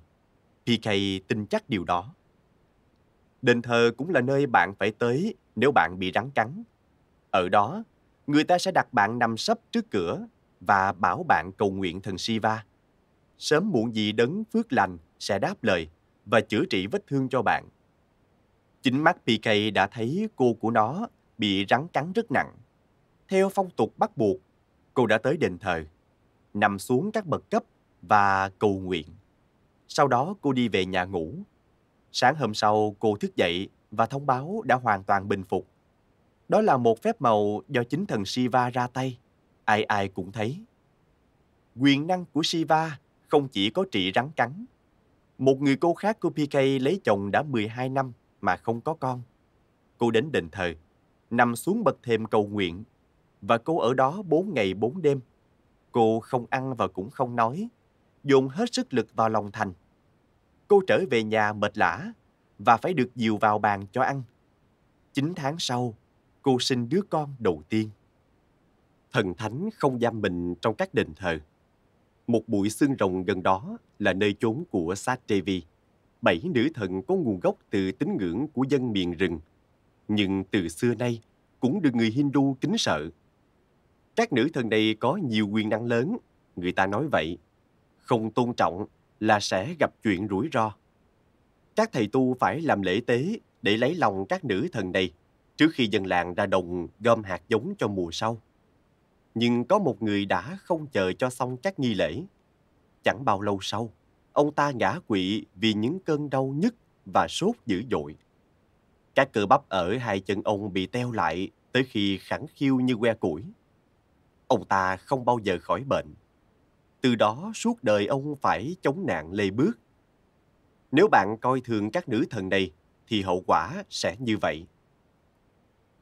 Có một cây lâu đời ở đầu làng phía đông, chỗ sinh sống của dơi và chim đêm. Và của các mụ phù thủy nữa. Bà nội PK nói. Đêm đêm, người ta nghe tiếng chim hợp bầy in ỏi trên cây. Âm thanh đó chỉ bị lấn át bởi tiếng quang quát chói tai của lũ quạ, loài chim to mờm hăng hái nhất bọn. Nhưng PK nghĩ rằng đó chính là tiếng hét tuyệt vọng của những người mắc lời nguyền của các mụ phù thủy và bị đọa đầy phải sống kiếp chim. Một cỗ xe kéo lớn bằng gỗ thường đậu ở rìa làng. Trong những dịp lễ hội mùa hè, cỗ xe này được dùng để rước các vị thần đen, trắng và vàng. Thần vũ trụ Jagannath với người anh Balarama và em gái Supatra. Họ là ba vị thần của dân miền rừng. Những người bà con bên ngoài của PK đã thờ các thần này từ xa xưa. Mặc dù người Hindu cũng coi ba vị thần này là thần của mình. Jagannath trở thành một hình ảnh của thần Vishnu. Còn người Phật giáo xem thần này như một hiện thân của Thích Ca. Đến mùa thu lại vào mùa lễ hội. Đó là mùa tôn vinh Durga, vợ của thần Shiva. Các thầy tu sẽ giết dê hiến tế trên ngọn đồi ngoài làng, rưới máu dê nhuộm đỏ đất đen. Giới giáo sĩ Brahmin bảo rằng máu ấy sẽ cho Durga sức mạnh chống lại lũ ma quỷ đe dọa tôn ti linh thiêng. Người Hindu có quá nhiều thần thánh, PK thường nghĩ vậy. Nó không bao giờ hiểu nổi bởi nhiều thần thánh ấy làm sao phối hợp với nhau được. Nhưng nó cảm nhận được sự hiện diện thiên liêng này và bỏ qua những truyền thuyết mâu thuẫn. Khi lớn khôn, PK mới biết cha mẹ mình không được phép tham gia hết mọi lễ hội. Họ có thể nhập chung đám rước, nhưng cấm không được sờ chạm vào các pho tượng hay vào cổ xe gỗ rước thần. Họ có thể cầu nguyện, nhưng không được cầu nguyện cạnh bên người đẳng cấp cao hơn hay cầu nguyện trong đền thờ. Họ được phép cúng bái, nhưng tốt nhất là đứng khuất xa đằng sau để các thầy Brahmin không nhìn thấy. Nếu giới giáo sĩ này có quyền quyết định, ác hẳn họ sẽ buộc hạn bất khả tiếp xúc, phải ở nhà, tránh xa mọi thứ thanh khiết và thiên liêng. Rất nhiều loại hình giải trí Ấn Độ tập trung vào quan hệ giữa mẹ chồng và nàng dâu. Nguyên nhân xung đột chính trong gia đình của người Ấn, đề tài cho nhiều bộ phim truyền hình và phim truyện Bollywood. Điều này có lẽ cũng là đương nhiên khi nhiều thế hệ cùng sống chung một mái nhà. Đàn ông có thể là những chủ nhân trên sườn núi, nhưng phụ nữ ngự trị trong gia đình. Tới tận ngày nay, mẹ chồng vẫn nắm quyền kiểm soát chặt chẽ trong nhà trong khi con dâu lại mang đến những thói quen thừa hưởng từ mẹ ruột. Phải cuộn bánh mì chapati theo cách nào? Luộc các loại đậu nấu súp đan làm sao? Hái bắp và nuôi con kiểu gì? Chú thích Bánh mì chapati là bánh được làm từ bột mì nguyên cám. Bánh thường được ăn kèm với cà ri, nhưng cũng có thể ăn kèm với nhiều món khác. Súp đan một loại súp truyền thống của Ấn Độ nấu bằng đậu với nhiều gia vị. Hết chú thích. Lúc PK lên ba và còn quá nhỏ nên không biết chuyện gì đang xảy ra trong nhà. Hay anh của PK sau này kể lại, đó là lúc mẹ họ tuyệt giao với bà nội. Trước đó ba tháng, Kalabati sinh đứa con thứ tư, một bé gái tên là Pramodini. Nhưng mẹ chồng của bà bắt đầu chỉ trích còn vợ cưng của mày là phù thủy. Bà nội nói với Srida. Rồi bà quay sang Kalabati. Mày không được ở đây nữa. Mày toàn đem chuyện xui xẻo tới cho mọi người. Ánh mắt Kalabati xa sầm, nhưng không nói gì. Cãi lại thì có ích gì đâu. Ai cũng hiểu là bà nội toàn quyền quyết định hết. Căn nhà này là của bà và ông nội. Mẹ PK là người ngoài tới ở. Người duy nhất có vị thế để bảo vệ mẹ PK chính là Srida, cha nó. Nhưng ông không nói không rằng. Ông nuốt giận, nuốt sự bực tức và xấu hổ. Cha nó không lộ cảm xúc nào, không hề tỏ ra bất bình với thái độ của bà nội. Im lặng đè nặng không khí gia đình. Ngày thứ hai ấy, Srida đi ra thành phố không nói một lời. Còn Kalabati tiếp tục làm việc nhà. Sau một tuần, Đến lúc Srida sắp về nhà vào cuối tuần, Kalabati mới nói chuyện với mẹ chồng. Không hề nhỏ một giọt nước mắt, mẹ PK tuyên bố sẽ dọn về nhà ông bà ngoại ở. Mang theo hai đứa nhỏ nhất. Bà nội dậm chân. Mang đứa con gái đi, nó còn ẩm ngửa. Còn mấy thằng con trai ở lại với tao. Kalabati chấp nhận không nói tiếng nào. PK đứng khóc trên hàng hiên, hai tay khoanh chéo, hai má đầm đìa nước mắt. Trong lúc mẹ nó một tay sách tư trang, một tay bế em gái, rồi mặt mày ủ dột, bà bước ra khỏi nhà đi ra đường. Bà ngoái lại vài lần nhìn con trai. Nó vẫy tay và mẹ vẫy lại. Tới tận hôm nay, PK vẫn còn nhớ hình ảnh mẹ khuất dần sau bụi mía và cái cảm giác thế giới đột nhiên vắng lặng. Mẹ và em gái đã đi rồi. Còn cha nó cả tuần đã sống ở thành phố mất 6 ngày. Chỉ còn mỗi mình PK với ông bà nội. PK khóc suốt nhiều ngày, nhiều tuần và chắc phải nhiều tháng. Nước mắt đầm đìa trên má nó trong lúc những đám mây gió mùa tuôn màn mưa nhuộm đỏ đường đất và làm ẩm mốc mái tranh. Mọi vật đều nhòe ướt trong cảm giác mất mát. Khi khóc cạn nước mắt, PK nín lặng. Nó không còn nói cười gì nữa. Ngày qua ngày, nó chỉ có gương mặt nhăn nhó, không lời nào thốt trên môi. Cả ngày nó ngồi một mình trong góc, đăm đăm nhìn khoảng không. Nó không chịu ăn, nhưng chẳng mấy chốc nó không còn sức lực kháng cự nữa khi bà nội ép nó phải ăn. Cơm và món đậu lentil chẳng còn mùi vị gì nữa. Chú thích Đậu lentil, tức là đậu lăng, một loại đậu phổ biến ở Ấn Độ. Hết chú thích. Thức ăn chỉ là một thứ nhám ráp trong miệng. Rồi một ngày Chủ nhật, có người đi xe đạp tới. PK có tin nhắn từ gia đình Kalabati. Mẹ đã ngã bệnh. Bà không còn làm nổi việc nhà nữa. Người đưa tin cho hay. Bà chỉ ngồi khóc. Srida, cha nó, nghe tin và không cho ai biết mình đang nghĩ gì. Ông lặng lẽ ra sau vườn, tìm bà nội đang cuốc đất ngoài vườn bắp, rồi kéo bà vào nhà. Không thể nào tiếp tục sống như thế này được. Cha nó la to. Cuối cùng ông đã trút hết bao tháng trời dồn nén tức giận. Bà nội không nói gì. Mẹ làm vợ con phát điên rồi. Cha nói tiếp. Bà nội vẫn không nói. Bà biết nói gì. Bà quá kiêu hãnh nên đâu chịu nhận mình sai. Và trong thâm tâm, có lẽ bà nội cho là mình đúng. Bà nội là người ngoan cố, không nhân nhượng. Bà đại diện cho lý trí và logic trong tình trạng thế giới điên loạn này. Khi cha PK trở về thứ bảy tuần sau, ông đặt PK ngồi xuống rồi cho hay ông đã mua một miếng đất gần bưu điện ở thị xã Asmalik. Chúng ta sẽ dọn tới đó, tới nhà mới. Ông nói, chúng ta là ai? Nhà mình, chỉ có nhà mình. Chỉ có nhà mình sống ở đó thôi sao? Thì cây hỏi.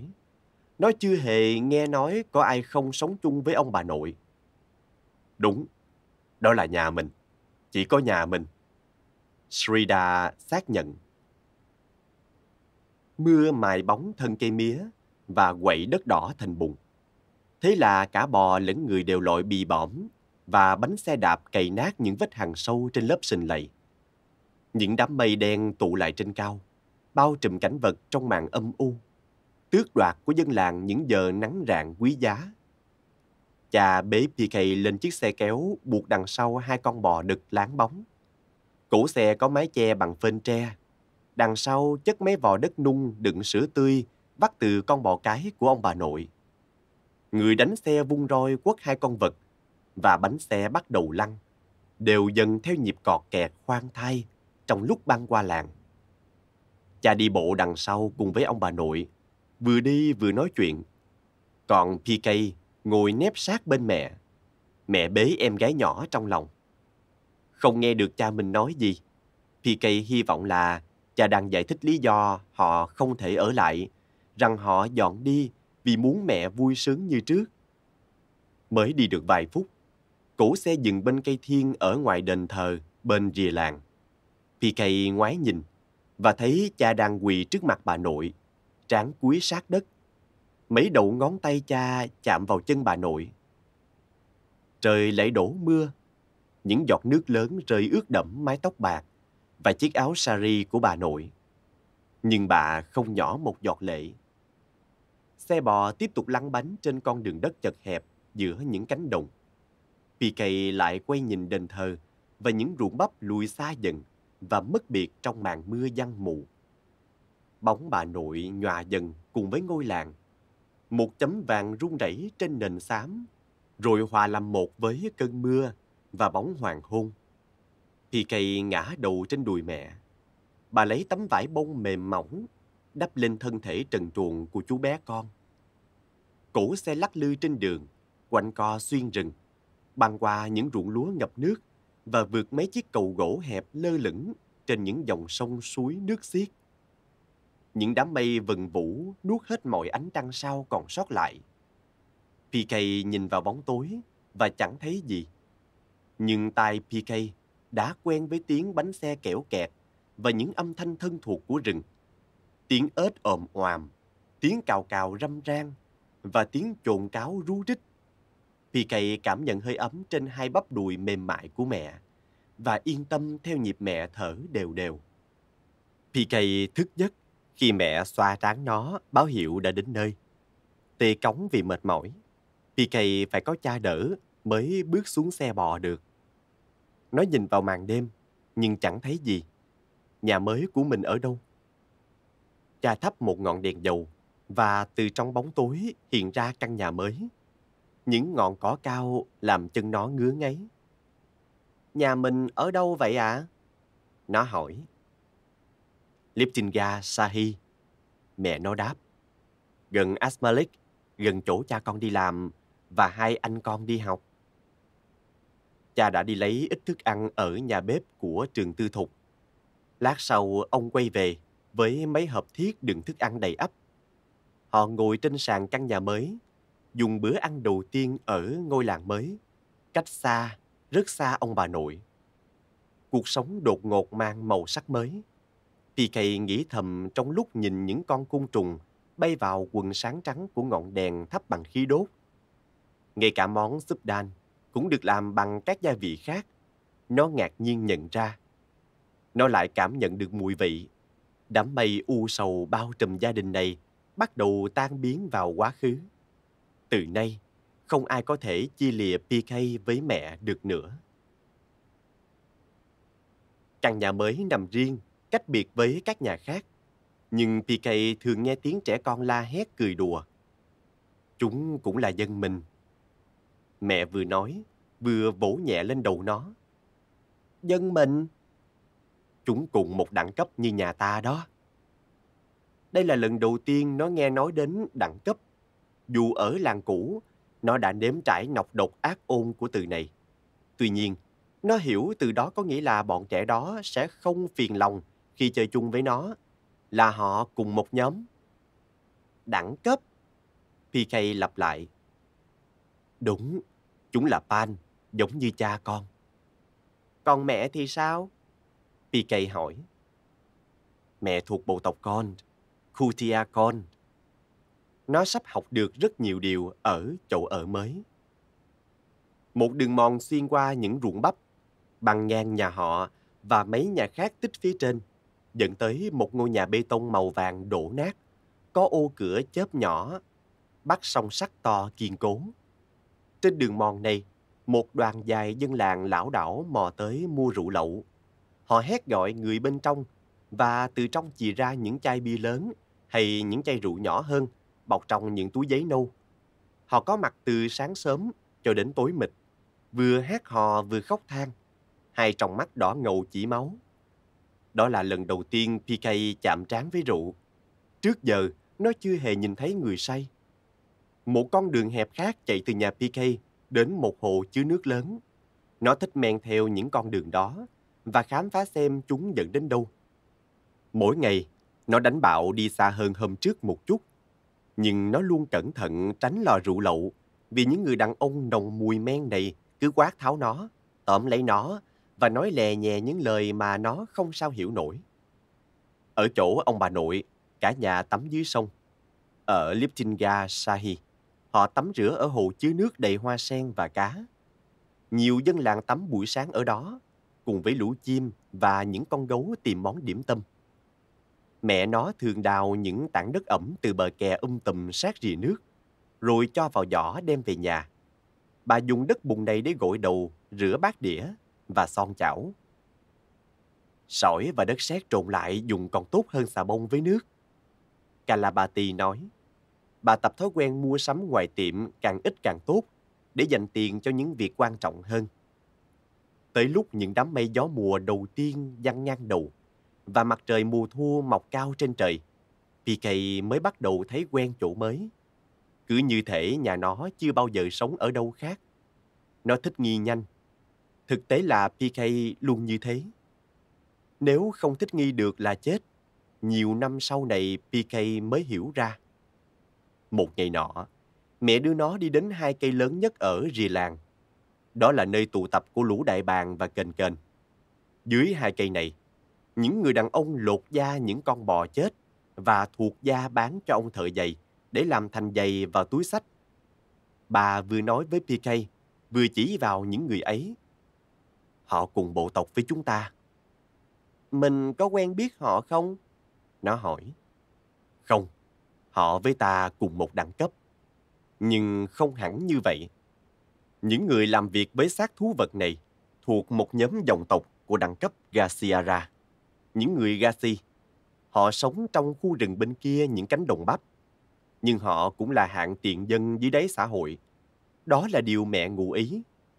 Những người Gaci này sống trong hoàn cảnh tồi tệ kinh khủng. Với Brahmin, xem họ còn ô uế hơn cả người Pan. Vì không những họ làm việc với thú vật chết, mà còn mổ xẻ cả xác bò, điều cấm kỵ. Ngay cả cái bóng của họ cũng là đồ ô uế. Chỉ cần nhìn thấy họ thôi là coi như đã gặp điềm xấu rồi. Nhưng khi trời sụp tối, các phụ nữ Gazi không còn là hạng bất khả tiếp xúc nữa. Calabati cũng biết cả chuyện đó. Ban đêm, đàn ông từ các làng chung quanh, những người thanh sạch đúng lễ nghi và danh giá, đến đây để mua tình với các phụ nữ này. Ngay cả giới Brahmin, ban ngày luôn phỉ nhổ hàng người Gazi, ban đêm cũng bị lôi kéo tới những túp lều Gazi. Kalabati không nói gì với con trai về điều này. Bà muốn bảo vệ PK càng lâu càng tốt, khỏi thực tế tàn nhẫn của cuộc đời dành cho hạng tiện dân dưới đáy. PK đứng trong ruộng bắp, xem mấy ông Gazi lôi con bò chết về phía cây thiên đầu làng. Mùa mưa thứ hai ở nhà mới đang đến. Nó xem họ bày cái xác bò nặng nề dưới đất và bắt đầu róc da khỏi thịt, rồi róc thịt khỏi xương. Rồi bu quanh những tảng thịt và đám kền kền lượn vòng từ từ xà thấp dần. Cuối cùng, lũ chim từ trên cao bay vọt xuống như tên bắn. Nhưng thay vì sâu xé bữa ăn, chúng chờ đợi, im như tượng đá. Lòng kiên nhẫn chiến thắng lòng tham. PK có cảm tưởng như đám kền kền này được thánh thần sai khiến, hay chí ít chúng cũng không hành động như các loài chim săn mồi. Nó không hiểu tại sao chúng không ăn số thịt kia. Nó nhìn lên. Hai con chim nữa đang bay trên cao. Rồi thình lình cặp chim này lao xuống mạnh đến mức đôi cánh quật gió xoáy vùng vụt. cây mơ tưởng mình cũng bay nhanh được như vậy. Nó chạy trên con đường dốc ngoằn ngoèo về nhà, miệng rít như kền kền, hai tay dang rộng như đôi cánh. Mẹ, nếu con ngồi trên lưng một con kền kền thì con cũng bay được luôn hả? Nó hỏi mẹ khi về tới nhà. Nhưng giấc mơ bay của nó lập tức bị xua tan. Coi chừng đám kền kền. Mẹ nó đáp ngay liền. Chúng sẽ mổ lòi mắt con ra, mù luôn cho coi. Sao chúng phải chờ chực trước khi ăn ạ? À? Kền kền cũng như người. Mẹ nói. Chúng cũng có vua và hoàng hậu, con trai, con gái và sống thành gia đình luôn. Khi có một con bò chết, lũ kền kền báo cho vua và hoàng hậu của chúng biết cái xác nằm ở đâu. Chúng không dám ăn trước vua và hoàng hậu. Vì thế mà chúng mới kiên nhẫn chờ đợi như vậy đó. Rồi bà nói tiếp. Kền kền vua và hoàng hậu là những con kền kền đẹp nhất loài. Lần tới, hãy nhìn cho kỹ nghe. Bộ lông hai con này dưới nắng lóng lánh như vàng. Mẹ xoa trán BK. Thế giới của kền kền chẳng khác chúng ta là mấy, con trai ạ. À. Bà ngoại PK sống một mình trong một làng nhỏ, nằm sâu trong rừng mấy cây số. Nhà bà ngoại thậm chí còn tồi tàn hơn. Nhà vách đất phên tre và mái tranh thường đổ sập vào mùa mưa. Vườn nhà mọc tràn cây bắp cao. Tới mùa bắp chín, thú hoang lại kéo đến. Trong số những vị khách thường xuyên này, có một con gấu lông dài đen bóng và một con cáo. Khi bà ngoại đã quá chán cái cảnh mùa thu hoạch bắp quý báu của mình bị cướp đoạt như vậy, bà làm một con bù nhìn rơm và dựng trên cao trong bụi tre. Bà mắc thêm trên hai cánh tay bù nhìn những quả chuông len ken trong gió. Nhờ thế mà đám thú hoang tránh xa, nhưng không phải tất cả. Có một tối, PK và em gái út Bramodini ghé thăm bà ngoại đúng hôm một gia đình Ha Thi, voi kéo tới. Hai đứa trẻ đang ngủ thì những bức vách chung quanh bắt đầu rung bần bật. Hai voi lớn và một voi con đang dẫm nát rau cỏ và nhai những loại bắp vàng rực. Nhưng bà ngoại không sợ. Bà đi ra hàng hiên, cầm theo một búi cỏ khô, châm lửa đốt và bắt đầu vung vẩy ngọn lửa trước gia đình voi. Rủi sao những con voi này không hoảng sợ. Vội chà khịch mũi, chân sau cào đất rồi lao thẳng tới bà ngoại. Bà quẳng bó đuốc, chạy ngược vào nhà, đóng sầm cánh cửa gỗ sau lưng và khóa lại. còn voi xô hết sức nặng vào căn nhà mong manh, phá vỡ mấy vách đất phên tre. Bà ngoại đánh thức hai đứa cháu, bảo PK tránh ra, và bà một tay bế Pramodini bên hông, một tay bắt đầu nện ầm ầm vào bức vách đối diện. Đập thủng được một lỗ đủ lớn để thoát ra ngoài. Bà đẩy PK chui ra, rồi ba bà cháu chạy băng qua mấy bụi cây gai góc và xương rồng. PK còn nhớ lúc đó không cảm thấy gì khi gai xé rách da. Máu ứa xuống hai chân, nhưng nó không có cảm giác đâu. Mình đang thức hay còn ngủ mơ? Cuối cùng họ dừng lại kiệt sức. PK không biết ba bà cháu đã chạy bao xa. Cuộc chạy trốn của họ nhanh chóng, nhưng cứ như dài vô tận. Người đầy máu và mồ hôi, họ quỳ xuống, tự vào một gốc cây và chờ rạng sáng. Trời đêm đầy tiếng rù rì vo ve của mũi mòng, cào cào và dế. Nếu mấy con voi đó nổi giận với mình thì sao? Nếu chúng đuổi theo chà đạp mình tới chết thì sao? Nhưng may thay, điều đó không hề xảy ra. Bà ngoại PK và Pramodini mình mẩy đau nhất nhưng đã thoát nạn. Ở đất nước phương Bắc này không có voi rừng lang thang. Thay vào đó, mũi kêu vo vo trong đám lâu sậy bên bờ hồ Boras um tùm. Đám chim chích hót gọi nhau. Trong khi Hunai gặm cỏ giữa những cây lãnh sam trong những khu rừng trăm năm. Nước mưa long lanh trong những rãnh hằng vết bánh xích của những thứ máy móc lâm nghiệp lớn. Khói xám bốc lên từ những ống khói của những ngôi nhà gỗ nghỉ hè, sơn đỏ, rải rác quanh vùng rãng. Gia đình Lotta là những người chăm đi lễ nhà thờ.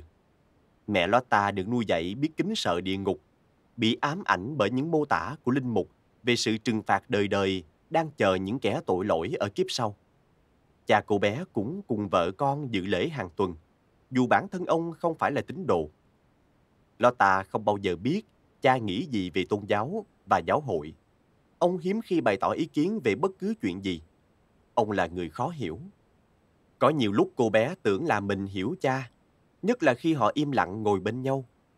Không hiểu sao cô bé cảm thấy hết sức gắn bó với cha, dù hai cha con ít khi chuyện trò. Lúc Lotta lên tám, một bà dì của Lotta ngã bệnh khi đang mang thai. Gia đình cầu khấn Chúa, nhưng bệnh tình người dì càng lúc càng nặng hơn. Rồi dì mất, chết cả mẹ lẫn con. Và đức tin đó ta từng cảm nhận được đã pha lẫn với sự tức giận và thất vọng. Cô bé theo đạo tin lành của giáo hội Thụy Điển, nhưng không phải vì có đức tin. Không, Lotta theo đạo chủ yếu là vì ai cũng theo. Cô bé dễ bị cha mẹ và bạn bè tác động. Khó mà sống khác người, làm theo ý mình. Người ta không thích những kẻ phá vỡ lề thói, quá khác biệt. Dù sao thì Lotta cũng không hề có niềm tin mạnh mẽ nào. Cô thấy khó lòng coi trọng quá mức một quan niệm duy nhất nào. Làm sao có thể đặt lòng tin trăm phần trăm vào một đảng phái hay một ý thức hệ? Làm vậy có nghĩa là mọi người khác đều hoàn toàn sai. Không, chuyện chính trị đảng phái không phải việc của cô. Có lúc cô bé thấy mình ngâm nga một bài hát đã học được từ lúc lên ba. Ý nghĩa bài hát là ánh sáng soi rọi toàn nhân loại, bất kể mọi phù phiếm, tham vọng và hèn hạ của con người. Ánh sáng ấy cũng tồn tại trong bản thân mình nữa. Lotta nghĩ thầm. Nhưng đó không phải Chúa, nó là cái gì khác kia. Mây bay đến, mây bay đi, trái tim buốt giá nhiều khi. Nhưng trên cao, trên cao xanh, kìa ánh sao băng long lanh. Ngược lại, từ tuổi niên thiếu, Trí tưởng tượng của cô bé đã hướng về phương Đông. Lotta đã đọc áo nghĩa thư, rồi tiếp tục đọc kinh vệ đà và bài thuyết pháp của Thích Ca. Có nhiều điểm tương đồng giữa cổ kinh Ấn Độ giáo và bài giảng trên núi trong Thánh Kinh. Cô bé thấy vậy. Nhưng có gì đó sai lầm thể hiện trong giáo lý đạo cơ đốc. Lý tưởng của nó có tính loại trừ hơn là bao quát. Người cơ đốc giáo hình như thích vẽ ra các ranh giới giữa người với người. Dù có phải tín đồ hay không, ai ai cũng được thúc đẩy bởi cùng một nguồn sinh lực. Trái tim đập trong lòng ngực, tất cả chúng ta đều cùng một lý do đó, bất kể đức tin của riêng ai. Lotta nghĩ thế. Mọi nguyên tử trong vũ trụ đều lệ thuộc vào nhau. Tất cả đều có liên kết. Các triết lý châu Á đã hấp dẫn cô bé, đặc biệt là quan niệm cho rằng tất cả con người và sinh vật đều tan biến sau khi chết, để rồi sống lại trong một sinh linh hiện thân khác. Đúng, thế mới phải, Lotta nghĩ. Nếu muốn rõ quá khứ, hãy nhìn hiện tại. Nếu muốn biết tương lai, cũng hãy nhìn hiện tại, như Thích Ca đã nói. Sự sống là luân hồi và tái tạo liên tục. Tất cả chúng ta từng là đất và nước, và rồi sẽ lại trở thành đất và nước. Cô bé Lotta từ tuổi niên thiếu đã nghĩ như vậy. Khi những người tộc Pan bắn hạ một con nai Samba, ông nội PK thường được mời dùng thử thịt nai. Vào mùa hội, dân làng đến thăm, mang theo quà mừng là da hổ và lông chim. PK cũng được hưởng ké địa vị xã hội cao của ông nội, và trong đám trẻ con tiện dân thì nó là vua. Nó tự hào về ông nội và muốn bắt chước ông. Với cùng tên là quà của ông nội cho, PK dẫn đầu đám bạn trong những cuộc thám hiểm rừng già. Nó trần truồng như thường lệ, chỉ đeo chiếc lông công trên đầu và chiếc thắt lưng với vòng đeo tay như những con rắn bám trên người. Chúng bò theo các đường mòn, giả vờ như đang săn hưu nai. Chúng hú lên hào hứng trước từng con sóc sợ hãi phóng vụt lên ngọn cây gần bên, hay con đại bàng lượn vòng trên tán rừng. Chúng giả vờ như PK là tù trưởng, trong khi đám trẻ thay nhau đóng giả là pháp sư phò tá. Đứa nào làm phò tá phải hái trái cho PK và cúi đầu dân tặng. Sau đó cả đám chạy xuống sông câu cá hay đánh bạo vào rừng, chọc phá mấy tổ ong cao tích trên mấy nhánh cây. Chọc tổ ong là nghề của PK. Nó trèo lên cây, mang theo một búi cỏ khô, châm lửa đốt, rồi dí dưới cái tổ để hun khói cho ong bay đi. Miệng nó cắn một chiếc que dùng để đâm thọc vào tổ, xua đuổi những con ong nào còn đủ gan dạ ở lại bên trong. Có khi đàn ông quay ra phản công lại. Nhưng dẫu có bị châm chích đau đến mấy, PK vẫn nhất quyết không bỏ cuộc khi nào chưa nếm được thứ mật ngọt bên trong. Một tay ôm vòng thân cây, tay kia cầm que, chọc mật, đưa lên miệng mút lấy mút để, trong lúc mật chảy ròng ròng trên má nó, nhỏ giọt xuống ngực. Sau đó, nó để cho mật nhỏ giọt xuống, cho đám trẻ đứng dưới đất đang chờ đứa nào cũng há mồm đón lấy những giọt dẻo ngọt trên trời rơi xuống. PK rồi cũng trở thành họa sĩ ở làng này. Nó thu lượm những phiến đá lớn trơn tru trên con đường ngoài làng, rồi lấy than vẽ lên. Vẽ bình minh, vẽ hoàng hôn và những ngọn núi um tùm. Tài vẽ của PK tiến bộ mau chóng.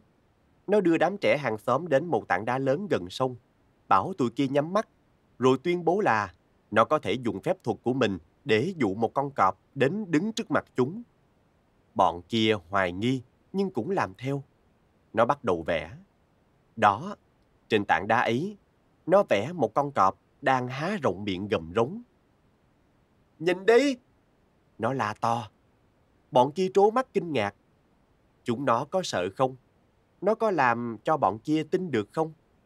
Cũng có thể chỉ là mong ước hảo huyền rồi cả bọn cùng cười ầm khoái trá. Ít nhất, mình cũng làm cho mọi người vui vì tài vẽ vời của mình. Nó nghĩ. Nó mở rộng thêm nguồn đề tài và luyện rèn kỹ thuật. Hễ rảnh một chút là nó vẽ, trước và sau giờ học và suốt ngày Chủ nhật. Nó tìm được những phiến đá đủ màu sắc, chứ không chỉ có màu xám và màu be. Nó khám phá ra cách dùng lá cây và hoa để tạo ra các phẩm màu ngoài màu đen. Nó học được cách lấy đất sét dưới sông nặng thành những chiếc đĩa, rồi vẽ hoa văn lên, quét thêm một lớp lòng trắng trứng cho ăn màu. Nó cũng vẽ trên giấy và thích vẽ những mẫu hoa lá cây cối. Mọi tảng đá trong vòng trăm thước quanh nhà đều biến thành một tác phẩm mỹ thuật. Đó chính là phòng triển lãm của PK. Còn trong nhà, một hàng đĩa vẽ trang trí bày kiêu hãnh trên kệ tủ. Những trò chơi trong rừng là những kỷ niệm quý giá nhất của PK. Rừng réo gọi chú bé và khao khát phiêu lưu trong lòng nó. Rừng đầy bí mật và lạ kỳ. Nó biết rừng chỉ từ từ phơi bày từng chút. Phần còn lại đã an bài là cõi bí hiểm chưa biết đến. PK vẫn còn nguyên cảm giác ấy cho tới ngày hôm nay. Chỉ cần hiểu được một phần nhỏ cuộc đời là đủ rồi. Nó an lòng khi biết rằng có rất nhiều điều nó sẽ không bao giờ hiểu được. Cha PK hăng hái đạp xe. Tiếng huýt sáo vang trên môi không ngừng. Ông đang cao hứng. Con đường quanh co giữa những ruộng bắp, vườn xoài và những cụm nhà tranh vách đất. Chiếc sơ mi trắng của ông phần phật trong gió. Trong lúc ông vòng tránh những ổ gà, tảng đá và cành cây. PK cũng vui như ông. Nó ngồi trên yên sau, lưng áo cha căng như cánh bườm trước mặt nó. Hai cha con đang trên đường ra thị xã. Xa rời chốn an toàn của những người đồng tộc. Nhưng PK lại không thấy sợ, mà lại thích mạo hiểm và cảm giác bất định này. Rốt cuộc, nó cũng bắt đầu đi học. Thầy giáo của trường tiểu học mới mở ở Asmalik đã hứa với ông Srida là con trai ông sẽ được cho vào học mặc dù học kỳ đã khai giảng từ một tháng trước. Có lẽ cha mẹ nó đã chần chừ không quyết định ngay vì lo sợ không biết PK sẽ được đối xử ra sao. Theo những kinh nghiệm cay đắng của bản thân họ thì họ do dự là phải. Trường học là một dãy nhà vách đất màu đỏ son làm lớp học, chung nhau một hàng hiên hướng ra sân trường cát bụi. Khuôn viên trường được bao bọc bằng một rào dậu tre trồng kính dây leo. PK nhìn vào lớp. Thầy giáo mới của nó ngồi trong đó, bụng bự béo tròn. Thầy quay lại nhìn PK. Giống thần voi Ganesh đấy mà. Ông thầy già vừa cười khúc khích, vừa vỗ vào bụng mình. Chú thích. Ganesh là vị thần Hindu có hình dạng đầu voi mình người, bụng to. Thần là con của thần Shiva và nữ thần Parvati, tượng trưng cho tài trí, hạnh phúc và thành công. Hết chú thích. Rồi ông quay sang các học sinh khác và chỉ vào các chữ cái trên bảng đen. Lũ trẻ đồng thanh đọc EA từng chữ. Quá nhiều trẻ nhỏ, quá nhiều bạn mới. Thầy giáo dừng lại, ra dấu cho nó ngồi vào chỗ. Nhưng ngón tay ông không chỉ về hướng các học sinh khác, mà chỉ ra hàng hiên ngoài lớp. Chỗ đó, ông nói tròn ngồi đó. Pradyumna Kuma Mahanandia. PK ngồi xếp bằng trên nền sàn cát bụi bên ngoài. Nó thấy hoang mang và thất vọng. Tại sao mình phải ngồi một mình ngoài này? Nhưng cha nó không hề quan tâm. Có điều gì cha biết mà PK không biết sao? Cha nắm tay PK, chào tạm biệt, rồi bước ra chiếc xe đạp đang dựng bên hàng rào tre. Còn lại PK với toàn những người không quen họ có muốn kết bạn với nó không? Nó không dám chắc nữa. Niềm háo hức trên đường đi giờ đã tiêu tan. Tại sao thầy giáo nổi giận với nó? Tại sao thầy không cho nó ngồi trên sàn trong lớp chung với các trò kia? Lát sau, thầy giáo ra hàng hiên giúp nó tập viết.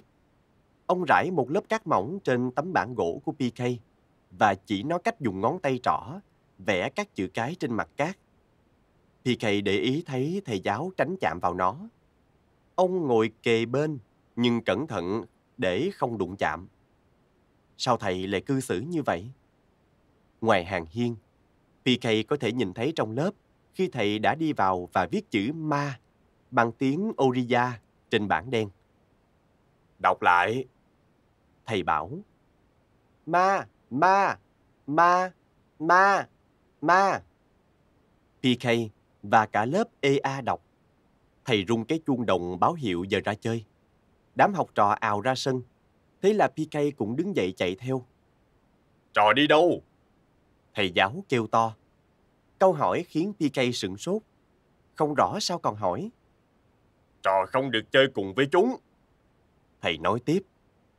PK thích ứng nhanh đến kinh ngạc. Ngày đầu đi học, giờ ra chơi nó cố nén khóc và chơi một mình ở góc sân. Ngày thứ hai, nó khám phá ra một cái ao phía sau trường, nơi nó có thể chơi một mình. Trong vòng một tuần, nó lại thấy mình mong chờ những lúc được cô độc ấy. Nó không hiểu sao lại như thế. Nó nhìn bóng mình dưới nước. Nó tìm kiếm trong hình ảnh phản chiếu rập rờn kia những đặc điểm nào có thể là màu da khiến nó khác biệt với chúng bạn. Có thể mũi nó quá tẹt, nước da nó quá đen, tóc nó quá xoăn. Có lúc nó nghĩ nó trông giống những con thú rừng chơi đùa trên mặt nước đen. Lúc khác, nó lại kết luận rằng nó thực ra giống hệt mọi đứa trẻ khác. Sau một tuần, cuối cùng nó hỏi mẹ điều lẽ ra nó phải hỏi ngay hôm đầu tiên đi học về. Nhưng lúc đó nó quá hoang mang nên không nói được. Tại sao con phải ngồi ngoài lớp? Mẹ đang ngồi xổm bên lò lửa trong bếp, nướng bắp và bánh mì chapati. Bà nhìn nó. Tại sao con không được chơi chung với mấy đứa kia? Nó hỏi tiếp. Vì chúng ta là dân rừng. Hồi lâu sau bà mới trả lời. Nó nhìn mẹ và càng hoang mang hơn. Ý mẹ là sao? Ngày xưa, dòng tộc nhà mình ở sâu trong rừng. Lẽ ra chúng ta cứ nên ở đó, sống đời mình giữa ngàn cây, chứ đừng chuyển ra ngoài làng mạc, sống chung với dân đồng bằng. Bà bế nó cho ngồi lên đùi mình. Chúng ta không được phép vào đền thờ, vì như thế các thầy tu sẽ nổi giận. Con đã biết rồi đó. Chúng ta không được lấy nước ở cùng một cái giếng mà người khác lấy. Đó là lý do mẹ ra sông hay ra hồ chứa nước, chứ không tới giếng nước chung. Nhưng chúng ta không thể làm gì được. Phải chấp nhận thôi con à. Tại sao lại vậy? Nó hỏi. Vì chúng ta là hạng bất khả tiếp xúc. Vì chúng ta sinh ra thuộc loại hạ đẳng. Hoặc là không hề có đẳng cấp nào. Bà nhìn thấy ánh mắt của con. Rồi đâu vào đấy hết thôi con. Nếu như con nhìn thẳng vào sự thật. Bà gạt nước mắt. Và miễn là con thành thật với chính mình và với người khác. Tối đó, nó nằm trên nệm rơm ngẫm nghĩ những lời mẹ vừa nói. Tiếng dơi rít và chó sủa phụ họa theo những ý nghĩ trong đầu. Mẹ đang gom cây khô cho vào bếp lửa và khu lanh canh mấy cái bát bằng thiết. Đó là những âm thanh làm nó an lòng, những tiếng động dỗ nó ngủ đêm đêm. Nhưng lòng nó sao vẫn không yên. Đẳng cấp là cái gì chứ? Rồi lại hạng bất khả tiếp xúc. Nó hiểu những từ ngữ xa lạ đó, nó đến thái độ kỳ lạ của thầy giáo. Nhưng từ đâu mà ra chuyện này? Tại sao ai cũng bị mấy thứ đó ám ảnh? Lớp PK được giao cho một miếng đất nhỏ trong vườn rau ở đầu sân chơi. Ở đó, đám học trò trồng dưa leo, mướp, cà tím và cà chua. Khi trái đã chín, chúng được phép hái đem về nhà cho gia đình. PK được giao nhiệm vụ tưới cây. Không ai phiền hà chuyện nó đụng chạm vào các hạt giống và nước. Tới khi thu hoạch, nó được giao một giỏ riêng, trong khi các học trò khác dùng chung giỏ với nhau. Nó đã hiểu ra đó là vì tụi kia không muốn rau trái của chúng bị ô uế bởi sự nhơ bẩn của nó. Nhưng PK chẳng bận tâm nữa. Thay vào đó, nó tập trung vào những trái cà chua hết sức ngon lành mà nó có thể mang về cho mẹ. Ý tưởng tham gia cuộc thu hoạch này khiến nó háo hức, chạy ào về phía khoảnh vườn và trượt chân. Nó vấp phải một ống nước và cái giỏ của cả lớp, làm mấy trái trên cùng rơi ra ngoài. PK cúi xuống nhặt lên cho lại vào giỏ. Trò làm gì thế? Thầy giáo quát lên. Hư hỏng hết cả rồi. PK sững người, sợ chết điếng. Nhìn thầy giáo giằng lấy cái giỏ khỏi tay nó. Nó cảm thấy sắp có chuyện gì đó kinh khủng xảy ra. Thầy giáo dơ cao cái giỏ lên trên đầu PK và trút hết cà chua lên người nó. Những trái cà chua tròn đỏ rơi như mưa lớp bớp xuống đầu PK và văng tứ tung. Trong khi cả lớp đứng thành vòng tròn im lặng nhìn. Sau đó thầy tuyên bố thà là PK mang hết về nhà cho xong, chứ có còn ai muốn ăn mấy thứ trái này nữa. PK vừa khóc, vừa cúi nhặt cà chua cho vào giỏ riêng của mình. Mặt mẹ sáng lên khi nó về nhà với tặng vật đó. Nhưng khi nó kể mẹ nghe chuyện, thì bà lo ngại ra mặt. Không chừng thằng nhỏ sẽ bị đuổi học và dân làng sẽ quấy nhiễu cả nhà này. Con chẳng bao giờ hiểu được mấy người đẳng cấp Hindu đâu. Bà nói, nhiều khi họ thích công khai hạ nhục chúng ta. Nhưng qua hôm sau, thầy giáo vờ như không có chuyện gì xảy ra và cả PK lẫn người nhà nó đều không thấy hậu quả gì. PK cứ nghĩ về chuyện đó. Thầy đã giải thích với nó là bất cứ thứ gì nó đụng vào đều trở thành dơ bẩn. Vậy chuyện gì sẽ xảy ra nếu nó đụng vào chúng bạn trong lớp? Tụi nó có nổi giận không? Hay chúng sẽ giả vờ như không có chuyện gì? Mình phải thử. Chú bé PK quyết định. Đám học sinh đã xếp hàng ngoài sân trường như thường lệ mỗi sáng.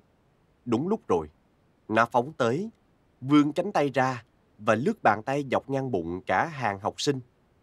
Rồi nó chạy lên chỗ thầy giáo và hiệu trưởng và vỗ vào bụng họ. Thầy nó sửng sốt đứng lặng. Lúc đầu ông nhìn PK trừng trừng, rồi quay qua hiệu trưởng, rồi cuối cùng nhìn đám học trò dưới sân. Này! Thầy nó kêu lên, nói vọng xuống đám học trò. Chúng ta ra giếng tắm rửa, còn PK, trọ yên đó, tôi sẽ xử trò sau. Thầy thường dùng gậy quất học trò khi chúng vi phạm kỷ luật nhà trường. Nhưng PK không bao giờ ăn đòn vì thầy không muốn vấy bẩn cây gậy của ông, vì như vậy sẽ truyền ô uế sang các đứa khác. Với PK, thầy nghĩ ra cách trừng phạt riêng. Ông bắt nó đứng yên trên hàng hiên, hai mắt nhắm lại. Rồi thầy lùi ra và bắt đầu ném đá. Những hòn đá nhỏ sắc bén quật vào da nó, để lại những vết bầm xấu xí. PK nguyền rủa thầy giáo, nhưng nó nhớ lời mẹ dặn phải cam chịu. Đây là số phận của gia đình nó. Cuộc đời bên ngoài mái nhà của nó là thế đấy. Nó sẽ luôn bị đối xử như vậy. Nó chẳng làm gì được. Thỉnh thoảng điều bất công đó cũng khiến nó phát uất và nghĩ chuyện trả thù hay mơ tưởng luật trời sẽ can thiệp cho nó.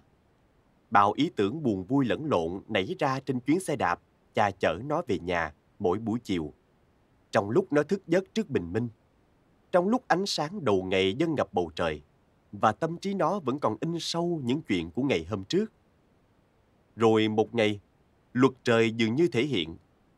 Thầy giáo đã ngủ gục ở bàn trong lúc cả lớp đang đọc to những bài kinh buổi sáng thì thầy ngửi được mùi rượu lậu trong hơi thở của thầy và tiếng ngáy vang khắp lớp khi thầy ngửa cổ há miệng càng lúc càng rộng.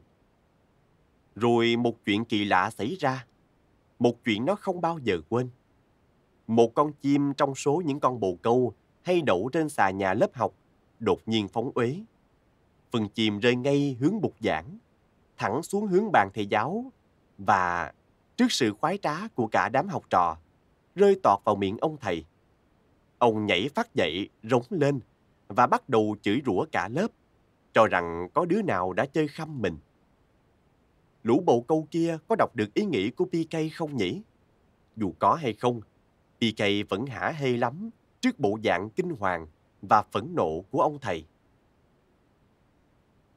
Không khí ở trường thay đổi hoàn toàn khi có thanh tra về thăm. Nhiệm vụ chính của thanh tra là kiểm tra xem trường có tuân thủ luật chống phân biệt của nhà nước không. Luật này vốn đã xem việc đối xử thành kiến trên cơ sở đẳng cấp là phi pháp. Trong chiếc áo vest xanh, sơ mi trắng và quần tây trắng ủi thẳng nếp, trông thanh tra đầy vẻ uy quyền bẩm sinh. Ông cười lịch sự, nhưng sau nụ cười là một ý chí sắt đá. Sáng hôm đó, PK được thầy bảo vào ngồi chung trong lớp, cứ như thân phận bất khả tiếp xúc của nó lâu nay chỉ là một cơn ác mộng thoáng qua. Đột nhiên, nó trở thành người cùng một lớp và được nô đùa với chúng bạn khi ra chơi.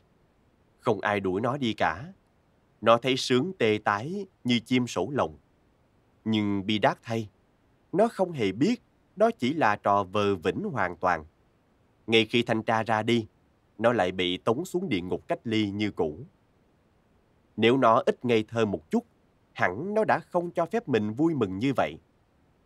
Tối về, Nó kể mẹ nghe chuyện chúng bạn đã kinh ngạc như thế nào khi nó trả lời đúng hết mọi câu hỏi của ông thanh tra.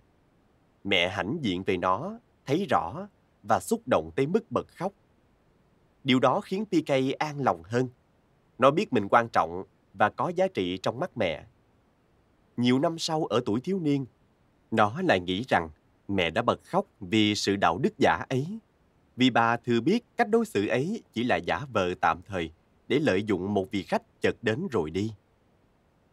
Nó thường mơ thấy vị thanh tra ấy quay lại trường. Thanh tra ngồi xéo phía sau thầy giáo, mắt ông xăm soi khắp lớp. Không việc gì thoát khỏi cái nhìn của ông và ông sẽ lo liệu cho mọi người đối đãi công bằng với PK. Còn nó ngồi ngay giữa lớp, các học trò khác bao quanh. Nó giơ tay, trả lời chính xác mọi câu hỏi và được khen liên tục. Nhưng những giấc mơ ngọt ngào ấy tan biến khi nó mở mắt ra. Nó nằm im, giấc mơ đã qua, nhưng cảm giác ấm áp vẫn còn nấn ná ôm ấp nó lâu hơn một chút.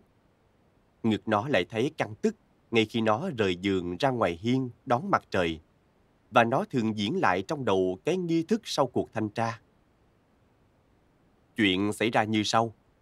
Ông thanh tra vừa lên xe đạp phóng đi, thì thầy giáo thuộc giới Brahmin và đám bạn cùng lớp con nhà có đẳng cấp liền kéo nhau thành đoàn đi ra bể nước tắm rửa thật sạch với xà bông. Họ rửa ráy cẩn thận và từ tốn, kỳ cọ cho sạch mọi dấu vết cuối cùng của mùi hôi thối mà sự hiện diện của PK đã lưu lại trên da thịt họ. Lần đầu tiên xảy ra chuyện đó, nó đã về nhà khóc tức tưởi. Chúng nó dơ bẩn. Mẹ nó dỗ dành. Chúng nó phải tắm gội.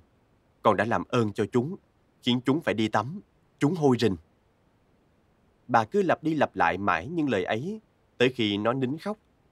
Dù nó biết mẹ nói dối, nhưng lời mẹ triều mến và dịu dàng bao bọc nó như tấm chăn ấm. Ít ra trên đời này cũng có người chấp nhận nó. Trò hề đó không chỉ diễn cho ông thanh tra. Năm nó học lớp 3, có một viên chức người Anh thời thuộc địa còn ở lại Orissa sau khi Ấn Độ độc lập đến thăm trường. Ông ta cùng bà vợ bước thẳng vào lớp học. Ông mặc đồ vest đen, bà mặc váy hoa, mặt mũi họ trắng mướt như sữa chua. Mấy đứa trò nữ thuộc giới Brahmin trồng vòng hoa vào cổ hai vị khách. Để đánh dấu sự kiện này, PK một lần nữa lại được cho ngồi chung với các trò khác trong lớp học, làm như chuyện làm nhục hàng ngày chỉ là một điều bịa đặt trong trí tưởng tượng của nó. Lũ trẻ cùng đứng lên hát cho khách nghe, cứ như một gia đình đoàn kết để yêu thương. Lúc vợ chồng người anh kia rời lớp học, người vợ đi tới chỗ PK và vỗ nhẹ vào má nó. Bà nhìn thẳng vào mắt PK và mỉm cười. Ta có thể chạm vào con, vì ta cũng thuộc hạng bất khả tiếp xúc. Bà vừa nói, vừa tháo vòng hoa trên cổ ra, hoàng vào cổ PK. Cảm giác được chấp nhận ấy thật là ngây ngất. Lần này PK đã hiểu điều đó chỉ là nhất thời thôi, nhưng nó không muốn cảm giác phù du này kéo dài. Không, nó đập tan niềm vui sướng thoáng qua này như đập một con mũi. Cố hết sức không cho cảm giác này vương vấn thêm nữa.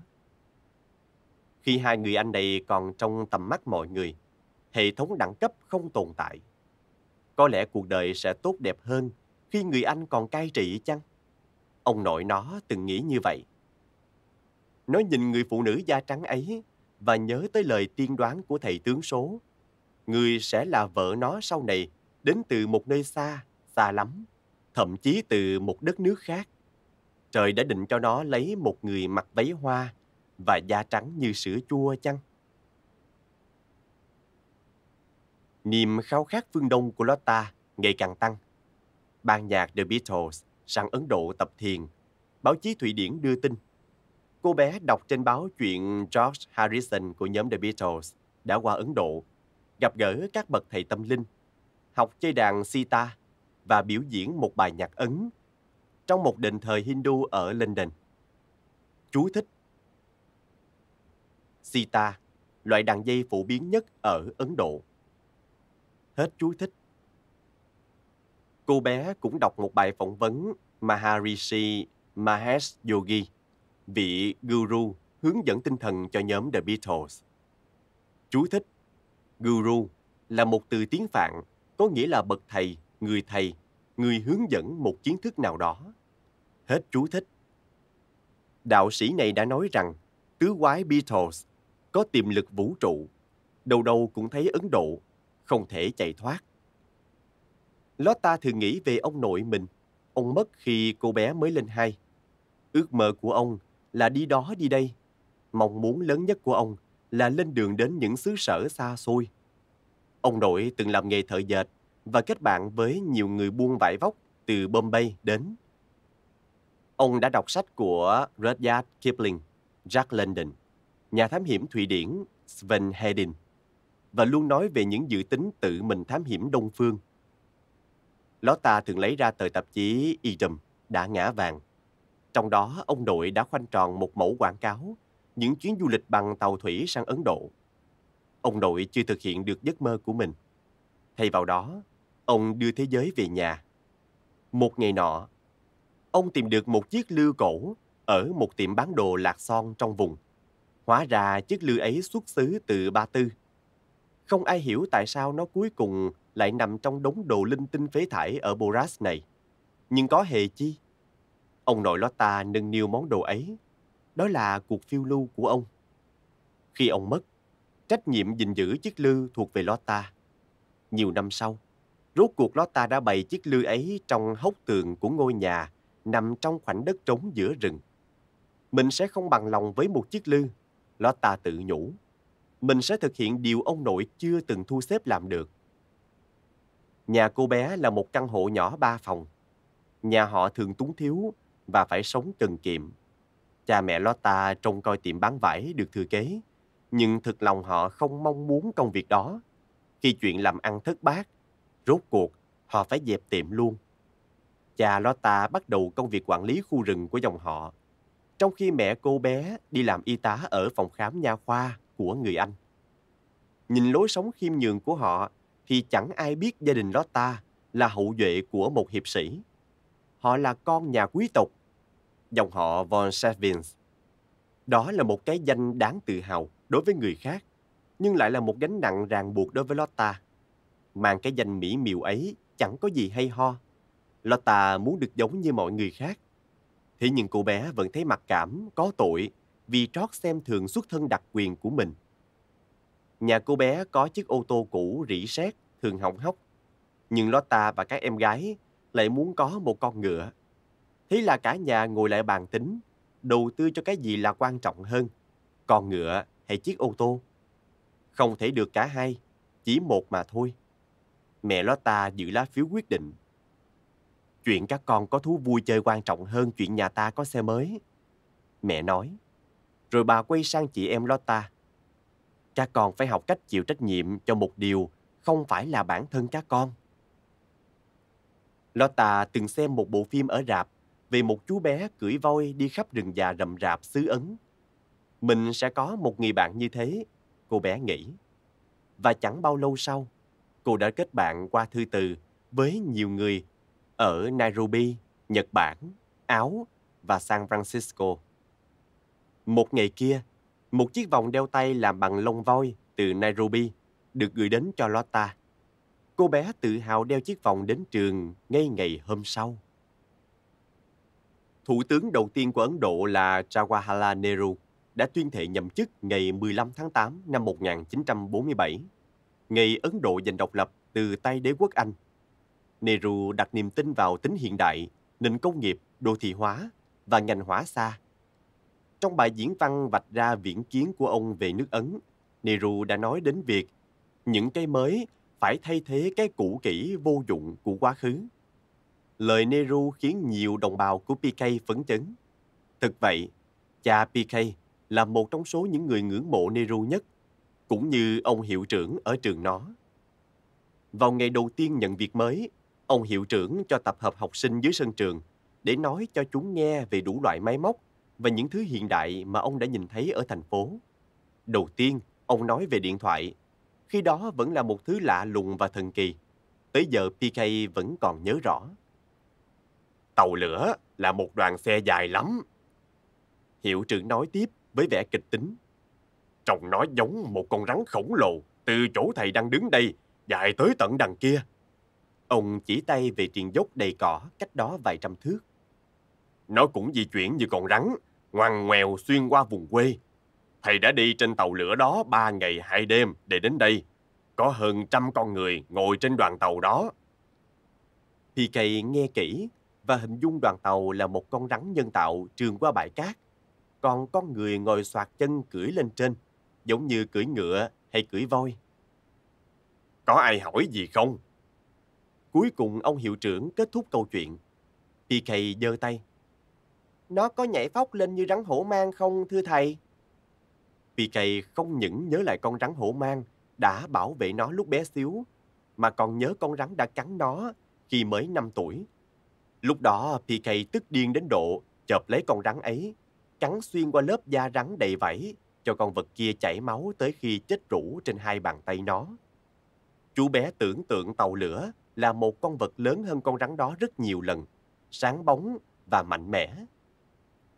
Ông hiệu trưởng khịt mũi, rồi hít một hơi ra vẻ quan trọng. Thầy nói, Nó nặng lắm, không nhảy phóc lên được, nó làm toàn bằng sắt. Đúng rồi, vậy thì nặng kinh khủng. Thì cày hiểu ra, tàu lửa không thể nhảy bật lên khỏi mặt đất, nhưng nó còn một câu hỏi nữa. Tàu lửa có đến làng này không? Lúc này ông hiệu trưởng đã hết kiên nhẫn. Không, chắc chắn là không. Nó chỉ chạy trên sắt, những con đường bằng sắt. Còn ở đây ta không có đường sắt. Kỳ lạ, những con đường làm bằng sắt cứng nhắc.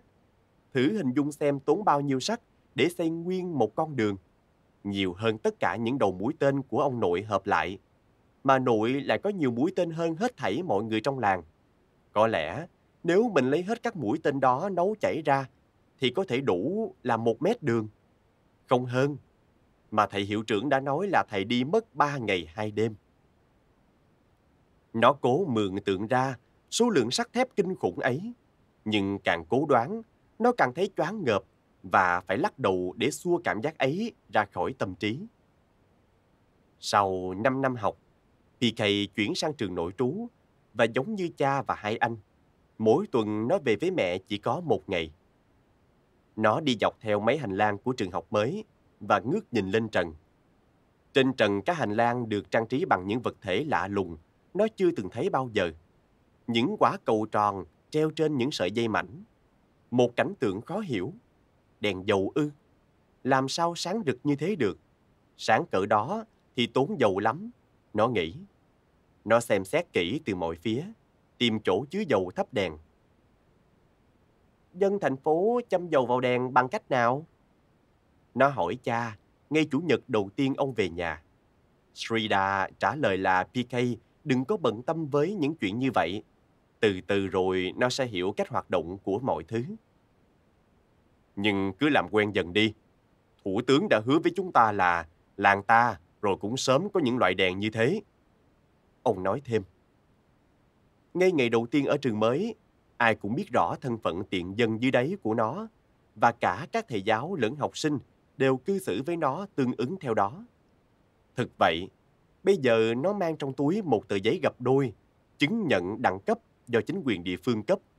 Giấy này cho nó được hưởng phần chỉ tiêu dành cho các đẳng cấp có trong danh mục, các bộ tộc có trong danh mục và các đẳng cấp lạc hậu khác, bao gồm hạng tiện dân dưới đáy và những người bộ tộc như nó.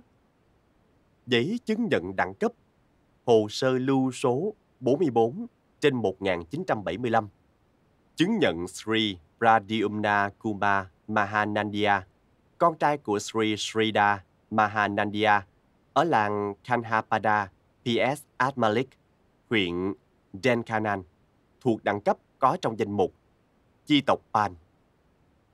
Đó, bằng chứng giấy trắng mực đen là nó thuộc hạng bất khả tiếp xúc, một người hạ đẳng, một công dân hạng hai Giấy chứng nhận này giúp nó được mua vé tàu giá rẻ hơn và một ngày nào đó sẽ dễ vào đại học hơn. Điều đó thì đúng. Nhưng nó chủ yếu xem đó là dấu hiệu ô nhục. Nó chỉ là một thằng bé thấp hèn, cần được đối xử đặc biệt để sống sót. Một trong những thầy mới của nó tình cờ là giám đốc một trại tế bần dành cho người Dalit, bất khả tiếp xúc. Nhờ đó ông có đủ thẩm quyền để cho chú bé PK biết chính xác người khác mong đợi gì ở nó và nó phải biết cư xử ra sao. PK không được vào nhà bếp hay phòng ăn nếu có bất kỳ ai đang ở đó. Và như vậy thì phải ngồi dưới sàn ngoài hành lang và ở đó chờ nhận thức ăn. Bác đầu bếp sẽ ra đó cho nó ăn cuối cùng và ăn riêng. Đầu bếp đi ra cùng mấy cái chảo và múc một phần cơm, súp đan và cà ri rau củ. Ông ta giơ cái vá lên cao rồi trút thức ăn xuống để tránh không chạm vào cái bát của PK. Có hôm PK chỉ được cho ăn cơm không vì các thức ăn khác đã hết sạch. Khi nó than phiền, đầu bếp chỉ thở dài làm như ông ta cũng bất lực chẳng khác chi PK trong hoàn cảnh này. Đó là cái nghiệp từ kiếp trước của mày. Mày phải hiểu và tôn trọng điều đó. Đó là câu trả lời duy nhất của ông ta. Đây không phải là lần đầu tiên nó nghe câu giải thích này. với Brahmin hay những người đã được giới Brahmin tẩy não đều nói y như vậy. Đó không phải lỗi của họ. Nó thường tự nhủ. Họ đã bị tiêm nhiễm, bị dạy cách đối xử với hạng tiện dân dưới đáy như là những kẻ cùi hủi. Nhưng dù vậy, nó vẫn giận sôi trong lòng. Nhà trường thuê một Tobiwala, tức là người giặt quần áo cho học sinh nội trú, ngoại trừ PK.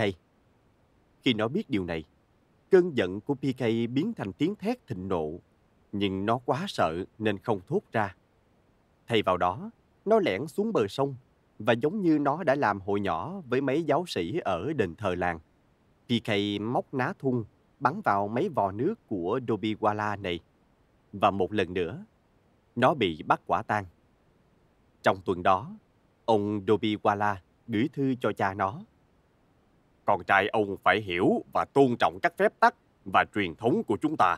Nếu con trai ông đột nhiên tự tung tự tác, thì sẽ ra cái thể thống gì? Srida, cha nó, trả lời rằng ông biết hết các truyền thống đó và chắc chắn con trai ông cũng biết. Thế nhưng các phép tắc đó là bất công và nhục nhã. Ông Phúc đáp trong thư. Đối với một đất nước muốn trở thành hiện đại và tranh đua với các cường quốc phương Tây. Tay thợ giặc ấy có từng nghe những bài diễn văn của Thủ tướng Nehru chưa? Hắn có biết là các chính khách ở New Delhi đã mơ tưởng đến một nước Ấn xóa sạch các hệ thống tôn ti đẳng cấp chưa? Hắn có đọc lời tuyên bố anh minh nhất của Nehru rằng con người là loài có ý chí tự do và không bị khống chế bởi các phong tục cổ xưa không? Cuộc đời là một canh bạc, Nehru từng nói. Những con bài ta được chia đã định sẵn, nhưng cuộc đời cũng chỉ là tài nghệ của anh trong ván bài này. Đó là ý chí tự do của ta. Tuần sau đó, ông Dobiwala tới chỗ PK lúc nó ngồi ăn một mình trong hành lang. Ông ta nói nhỏ. Tối nay mang áo quần của cháu tới chỗ ta. Nhưng nhớ đừng để cho ai trông thấy. Ta sẽ giặt đồ cho, rồi tới mai cháu lại mang về khi mọi người đã ngủ. Dù không trọn vẹn, nhưng cũng là một chiến thắng. Xã hội Ấn đầy những mâu thuẫn. PK quá biết điều đó. Một ví dụ rõ nhất là chuyện hệ thống đẳng cấp đã ảnh hưởng đến ông nội nó ra sao. Nội là người được kính trọng trong những hoạt động thế tục. Thế nhưng không bao giờ các giáo sĩ Brahmin nhận thức ăn hay cốc nước nào mà có khả năng ông nội đã đụng chạm vào. Ông nội cho tới chết cũng không được phép bước vào đền thờ. Người tộc Pan làm nghề dịch vải suốt hàng trăm năm, nhưng ông nội nó phá bỏ truyền thống và đi làm việc văn phòng ở Asmalik. Dù người thuộc đẳng cấp Brahmin coi ông như một thứ phân bẩn thiểu, người Anh lại tôn trọng ông. Họ thường làm mọi cách để chọc giận tới Brahmin. Họ bổ nhiệm ông nội làm Chatia, xã trưởng, và giao ông nhiệm vụ phân xử các tranh chấp địa phương, cũng như báo cáo mọi việc sinh tử, phạm tội với chính quyền thuộc địa. Ở trong làng không có đồn cảnh sát hay phòng hộ tịch, mọi việc đều giao hết cho ông nội. Vai trò này đảm đương luôn chuyện trừng trị. Nếu có ai phạm luật thì chính ông nội sẽ lấy gậy ra quất kẻ vi phạm. Đó là quy định của người Anh. Nhưng quan trọng nhất, chức vụ này khiến ông trở thành đại diện chính thức cho đế quốc Anh, bởi vì những người Anh đế quốc này không tin tưởng với Brahmin. Nghe đầu một người anh ở Asmalik đã từng nói, Người Brahmin có quá nhiều điều cấm kỵ liên quan đến chuyện ăn uống, cũng như các quy tắc xã hội kỳ lạ, cho nên không ai làm sao biết được là mình có đang làm gì gây xúc phạm tới họ không. Người Anh cũng biết giới Brahmin ngờ vực họ. Những người Brahmin chính thống khinh miệt các ngoại kiều thực dân và gọi họ là bọn ăn thịt bò. Đó cũng là một lời sỉ nhục. Ông nội thường nói với PK là ông thích người Anh biết bao. Ông bảo, Họ hứa là giữ lời. Họ là người tốt. Khác với người Brahmin, người Anh bắt tay với chúng ta. Họ không nề hà việc đụng chạm vào ta. Rồi ông chuyển sang giọng hết sức nghiêm trọng. Cháu phải tránh xa người Brahmin ra. Nếu cháu không tránh xa, là cháu tự hại mình đó. Trong những năm thiếu niên, PK tìm được nơi trốn lánh và tình bạn ở chỗ bất ngờ nhất, gánh xiết rong. Một ngày nọ, gánh xiết đến đây không báo trước, căn lều buộc voi và dựng lên một khu vui chơi lưu động gần bên.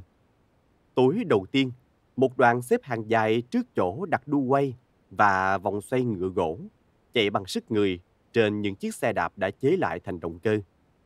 Mấy đồ chơi rỉ sét đó kêu cọt kẹt, rú rít và sáng nhấp nháy. Những thứ có lẽ ọp ẹp, thảm hại hết sức. Vậy mà PK vẫn cứ say mê trước mấy cái máy cọc cạch quay tròn đó.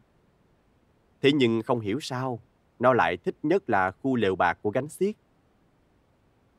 Nó tha thẩn giữa đoàn xe lưu động, bổ về đám ngựa với mấy con voi, rồi làm quen với những người tung hứng và người dạy sư tử. PK cẩn thận cho họ biết là nó thuộc hạng hạ đẳng, để tỏ lòng tôn trọng. Như vậy tùy họ muốn giữ khoảng cách với nó hay đuổi nó đi. Làm thế thì nó sẽ không gây nhơ nhuốc cho họ. Bọn ta chẳng bận tâm mấy thứ đó. Một người dạy sư tử nói. Chúng ta là người Hồi giáo, chúng ta hiểu mà. Người khác cũng đối xử với chúng ta, cứ như chúng ta là dân bất khả tiếp xúc vậy. Một người tung hứng nói. Chưa từng có ai cho nó biết là dân Hồi giáo ở Ấn Độ cũng bị xử tệ như là hạng tiện dân dưới đấy. Trên lý thuyết thì người Hồi giáo không nằm trong hệ thống đẳng cấp.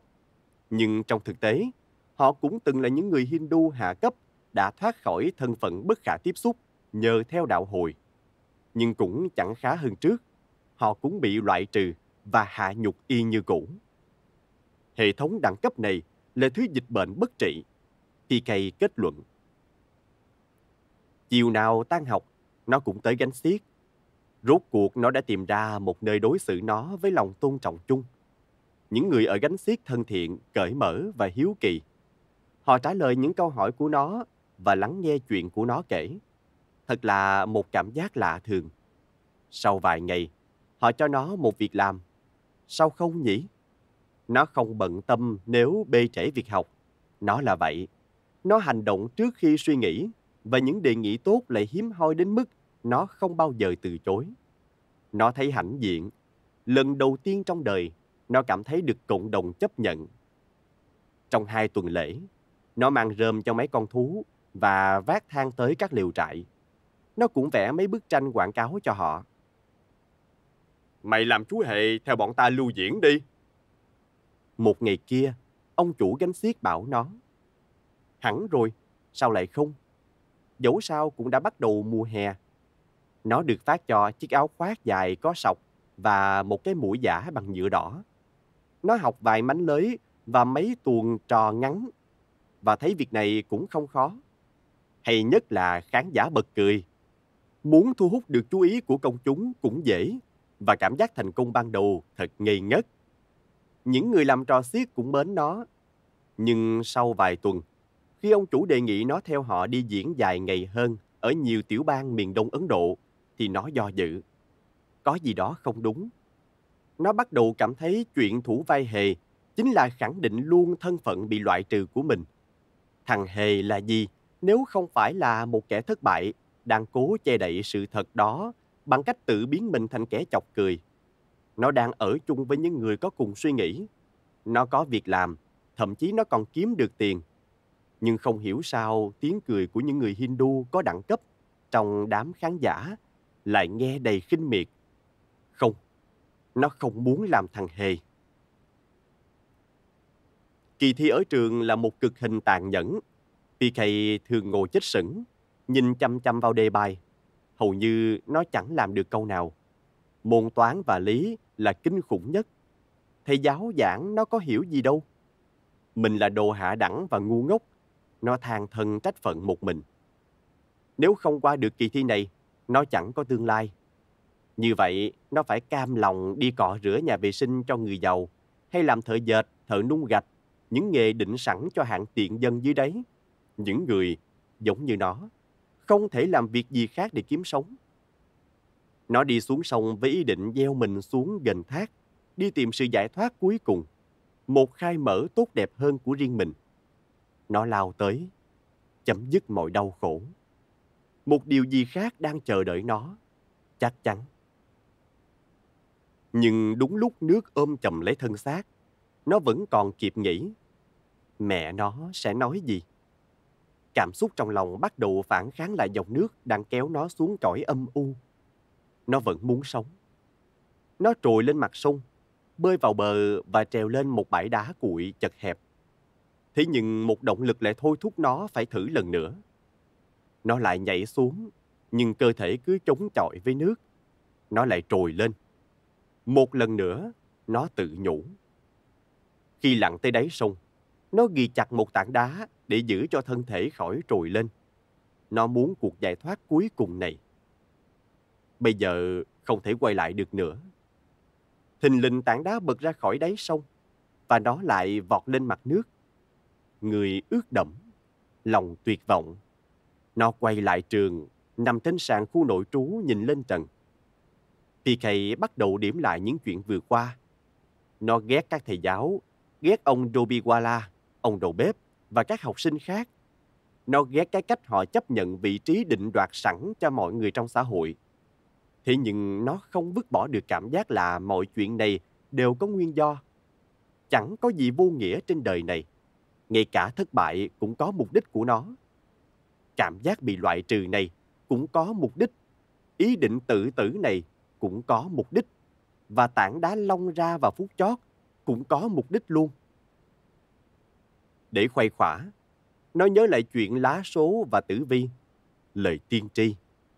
Người phụ nữ sẽ thành vợ nó. PK cố tưởng tượng hình ảnh cô ta trong tâm trí. Hình ảnh một phụ nữ da trắng rõ dần trong bóng tối trước mặt nó. Cô ấy xinh đẹp và nụ cười hiền lành. Nó cảm nhận hơi ấm của ai đó trong lúc nó nhắm mắt và tin chắc là ánh sáng đang bao trùm quanh mình. Mẹ PK không biết tại sao nó dám chắc điều đó, nhưng không thể nghi ngờ gì nữa. Mẹ đang ngồi trên sàn nhà, vỗ về nó. Kệ đi, con. Nó nghe tiếng mẹ. Chúng đó toàn những đứa ngu xuẩn, con đã làm đúng hết. Rồi có ngày con sẽ gặp người phụ nữ trong lời tiên tri, vợ tương lai của con. Bóng tối đen kịch tận cùng, nhưng chính mẹ nó Chính ánh sáng của bà đã nâng đỡ nó, ngăn không cho nó lao vào cõi hư vô. Thật dễ chịu khi có mẹ ngồi cạnh bên. Đó là lời cuối cùng nó còn nhớ đã nói với bà trong buổi tối khốn khổ ấy, trước khi chìm vào giấc ngủ. Mọi nam sinh bắt đầu năm cuối trung học đều phải tham gia trại huấn luyện quân sự. Ấn Độ đã có hai lần chiến tranh với Pakistan và một lần với Trung Quốc chiến trận vẫn xảy ra trong các rừng già ẩm thấp, trên các sa mạc nóng bỏng và trên các băng hà buốt giá. Mọi nam sinh phải sẵn sàng nhập ngũ khi có chiến tranh. Vì ai cũng biết, không sớm thì muộn, chiến tranh cũng bùng nổ trở lại. Đó là lúc PK tham gia trại huấn luyện của National Cadet Corps ở Bonper. Hơn 1.000 thiếu niên từ khắp Orissa tụ về đây trong sức nóng mùa hè để học quân sự và tập bắn. Học sinh ở trong những chiếc lều bạc dựng hai bên bờ sông Brahmani, dưới những cây xoài nặng trĩu quả và trái chín rơi rụng xuống cát chung quanh chúng. Những bài tập luyện đơn điệu và nhàm chán, nhưng PK mê mẩn vì những bộ quân phục, mũ két, mề đay và những đôi giày bốt bằng da nặng nề. Bộ đồ ấy cho nó một cảm giác oai phong. Một ngày nọ, PK và hai học viên khác được giao nhiệm vụ canh gác khu lều trại, trong khi mọi người kéo đến khúc sông cách đó một cây số để nấu bữa tối. Những đám mây xanh đen, căng nước đã xà thấp trên đầu ngọn cây suốt cả buổi chiều. Gió bây giờ đã mạnh lên. Mọi người ra đi chưa được bao lâu, những hạt mưa đá to bằng hột bắp bắt đầu quay cuộn trong không trung. Cơn lốc ập tới nhanh hơn và mạnh hơn dự đoán của mọi người. Chưa đầy 10 phút, lốc đã sang bằng toàn khu trại. Bầu trời đen kịch thỉnh thoảng lóe lên một ánh chớp trắng xanh. Và PK lao xuống một con mương mà nó và các bạn mới đào ngày hôm ấy. Một luồng gió mạnh đột ngột quẳng thêm một học viên trực xuống mương bên cạnh PK. Một cành xoài lớn bị gió bẻ lìa dễ dàng như bẻ một que tâm. Một cành nhỏ hơn bay vèo xuống, dán vào người PK. Đầu thấu xương. Nó nhìn lên và thấy máu động thành vũng ở chỗ nó nằm. Chất lỏng màu đỏ ấy đang thấm vào quần áo nó. Chỉ mấy giây sau, người nó ướt đẫm máu. Nó nhìn xuống cơ thể, nhưng đâu có chỗ nào bị chảy máu. Rồi PK hiểu ra, máu của bạn nó. Mấy giờ sau PK tỉnh lại, một ngọn đèn sáng chói khó chịu treo ngay trên cao. Nó đang nằm trên chiếc băng ca cứng trong một bệnh viện ở Dancano. Nó bị gãy một chân, còn bạn nó bị một cành cây lớn đè dập thân và đã chết. Chưa kịp trở tay thì đã đến mùa thi lại. Đúng cái lúc mọi thứ tưởng như vô vọng thì hy vọng đã quay về. Vận rủi của nó cuối cùng đã hết. Trí nhớ của nó bắt đầu hoạt động trở lại. Bế tắc đã thông. Nó thi đậu vừa đủ điểm. Những gì nó đã học cũng có cái in vô đầu. Nói cho cùng thì PK cũng đâu phải đồ vô dụng. Cha nó lại thấy đây là cơ hội thúc đẩy PK theo nghề mà ông đã chọn cho con. Học kỹ sư đi, con. Một nghề có nhiều triển vọng, một tương lai tươi sáng cho PK và cho nước Ấn, xây dựng trên lẽ phải và khoa học, chứ không phải trên sự mê tín và thành kiến của giới giáo sĩ. Cha bảo nó nộp đơn vào ngành khoa học. PK nghe lời và được nhận vào đại học vào mùa thu sau. Nhưng nó mau chóng chán nản với chương trình học và thay vào đó lại thích vẽ hí họa các giảng viên đang giảng bài. Đừng hạ đẳng, không có đầu óc. Giảng viên toán của nó la toán lên khi phát hiện ra những tranh vẽ đó. Nhưng bị đuổi khỏi lớp lần này lại không khiến cho PK tuyệt vọng. Nó biết mình muốn gì, và đó là một cuộc đời khác hẳn những gì cha nó đã hình dung cho thằng con. Nó ghét các môn khoa học tự nhiên, toán, lý, hóa, là các môn nó học kém nhất. Hãy để chuyện xây dựng quốc gia cho ai khác đi. Cũng chính giảng viên toán đó qua hôm sau lại tới chỗ nó cho mấy lời khuyên chí lý. Ông thầy nói, Radiumna Kuma, học như vậy chẳng đi tới đâu. Vậy em phải làm sao đây? Vào trường mỹ thuật đi. Nó nghe lời thầy và bỏ trường ra đi với gia tài là 55 đồng ruby trong túi. Lúc đầu nó không biết phải đi đâu, nhưng rồi nó nhớ ra tu viện Bima Boy ở Khaliapali. Cách nhà nó mấy giờ đi xe buýt. PK biết các thầy tu ở đó tiếp nhận những linh hồn lạc lõng như nó. PK được đón tiếp ân cần, được cho một chiếc chiếu rơm để ngủ và thức ăn qua ngày. Những người này cùng chung hệ giá trị với nó, cho nên nó ngồi trên sàn cạnh các tu sĩ này, những người chỉ có mạnh khố che thân. Người sáng lập phong trào tinh thần này là Bima Boy, khiến PK say mê.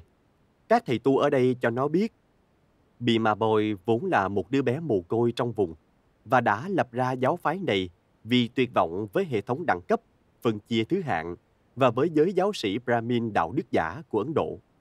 Ông nhanh chóng thu phục được nhiều người theo. Các thầy tu hát những bài ca của sư phụ Bima Boy và ngâm những bài thơ đẹp nói về một xã hội công bằng trong đó mọi người sống với nhau không bị chia rẽ thành những phe phái tranh đua.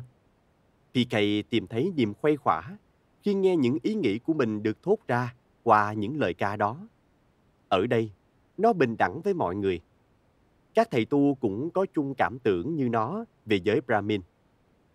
Vậy mà vẫn có cái gì đó thôi thúc nó không được sống suốt đời tham thiền nhập định. Đời tu sĩ không phải dành cho nó.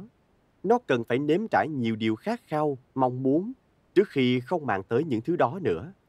Nó sẽ lấy vợ, lá số đã báo trước rồi. Và nó muốn nhìn thấy thế giới ngoài kia, bên ngoài Asmalik. Nó tiếp tục hành trình và lẻn lên chuyến tàu lửa ngược ra Bắc tới Tây Bengal. Đoàn tàu kéo kẹt sẽ đưa nó đến cuộc đời mới. Và trong lúc nhìn thế giới trôi qua cửa sổ, nó nhớ lại ông hiệu trưởng từng mô tả những đoàn tàu như những con rắn bằng sắt thép. Nhớ lại chuyện nó đã từng tưởng tượng hành khách ngồi xoạc chân cưỡi lên con mãng xà khổng lồ đang chạy ngoằn ngoèo trên những con đường lát kim khí. Nó bật cười trước sự ngớ ngẩn của mình. Còn rất nhiều điều nó chưa từng hiểu biết.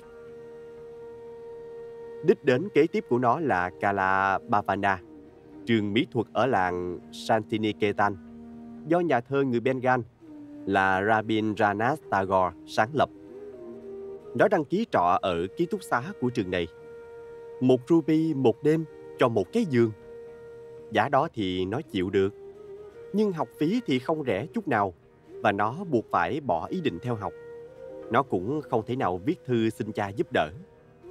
Thay vào đó, những người ở trường này cho PK biết ở dưới Calicut, ngay bang Orissa, quê nhà của nó, có một trường mỹ thuật dành cho sinh viên có xuất thân nghèo khó như nó. Hy vọng lại bùng lên. Nó lẻn lên một chuyến tàu xuôi nam và đến trường mỹ thuật này.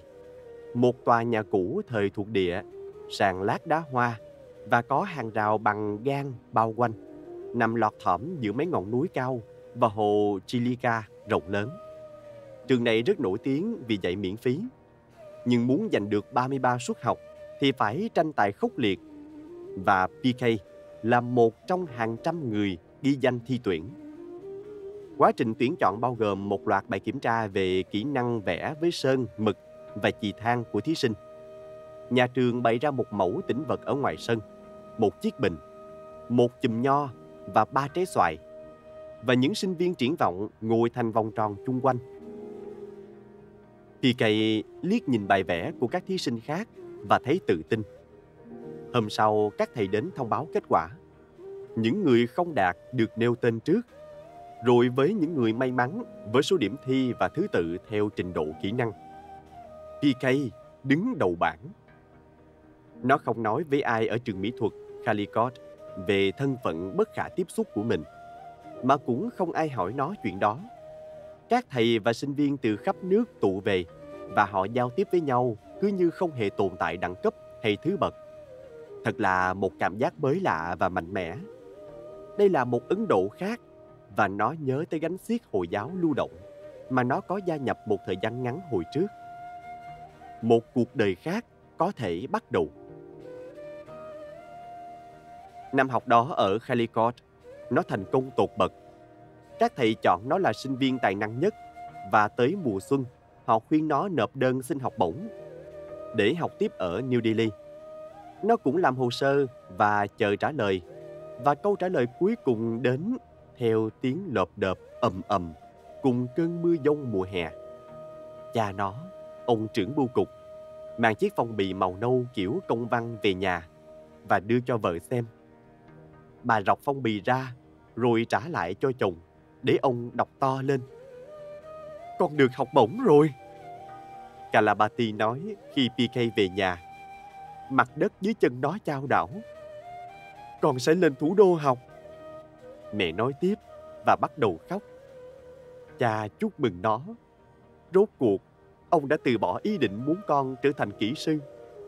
Mẹ nó khóc lóc, bỏ ăn suốt ba ngày trước khi nó lên đường chuyến đi xa này đối với bà là một bi kịch. Thế nhưng cảm xúc của bà đầy mâu thuẫn. Bà cũng thấy tự hào. Thực vậy, trước mặt các phụ nữ xóm giềng, bà nói giọng đầy hoan hỷ. Con trai tôi sẽ đi bằng xe buýt và xe lửa, rồi nó sẽ bay trên con chim bạc, băng qua rừng qua núi và đi xa hơn nữa. Mọi người không tưởng tượng nổi đâu. Hết lời tiên tri.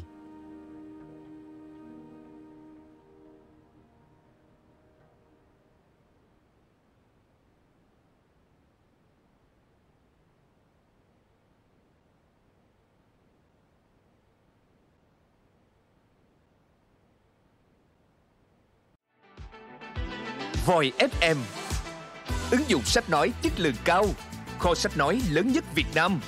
Từ các tác giả sách bán chạy nhất Cùng nhiều thể loại nội dung khác Podcast, sách tóm tắt, truyện thiếu nhi, thiên và ngủ. Chia theo các hạng mục dễ tra cứu Và được thể hiện qua các dòng đọc mượt mà. Hẹn giờ tắt để nghe trước khi ngủ. Điều chỉnh tốc độ nghe phù hợp với bản thân. Tải xuống để nghe không cần mạng Chế độ lái xe Thao tác đơn giản và an toàn Gần 20.000 người đã sử dụng và hài lòng Còn bạn thì sao? Tải ứng dụng Voi FM trên App Store hoặc Google Play để được nghe thử miễn phí ngay hôm nay. Voi FM, lắng nghe mọi lúc, bên bạn mọi nơi.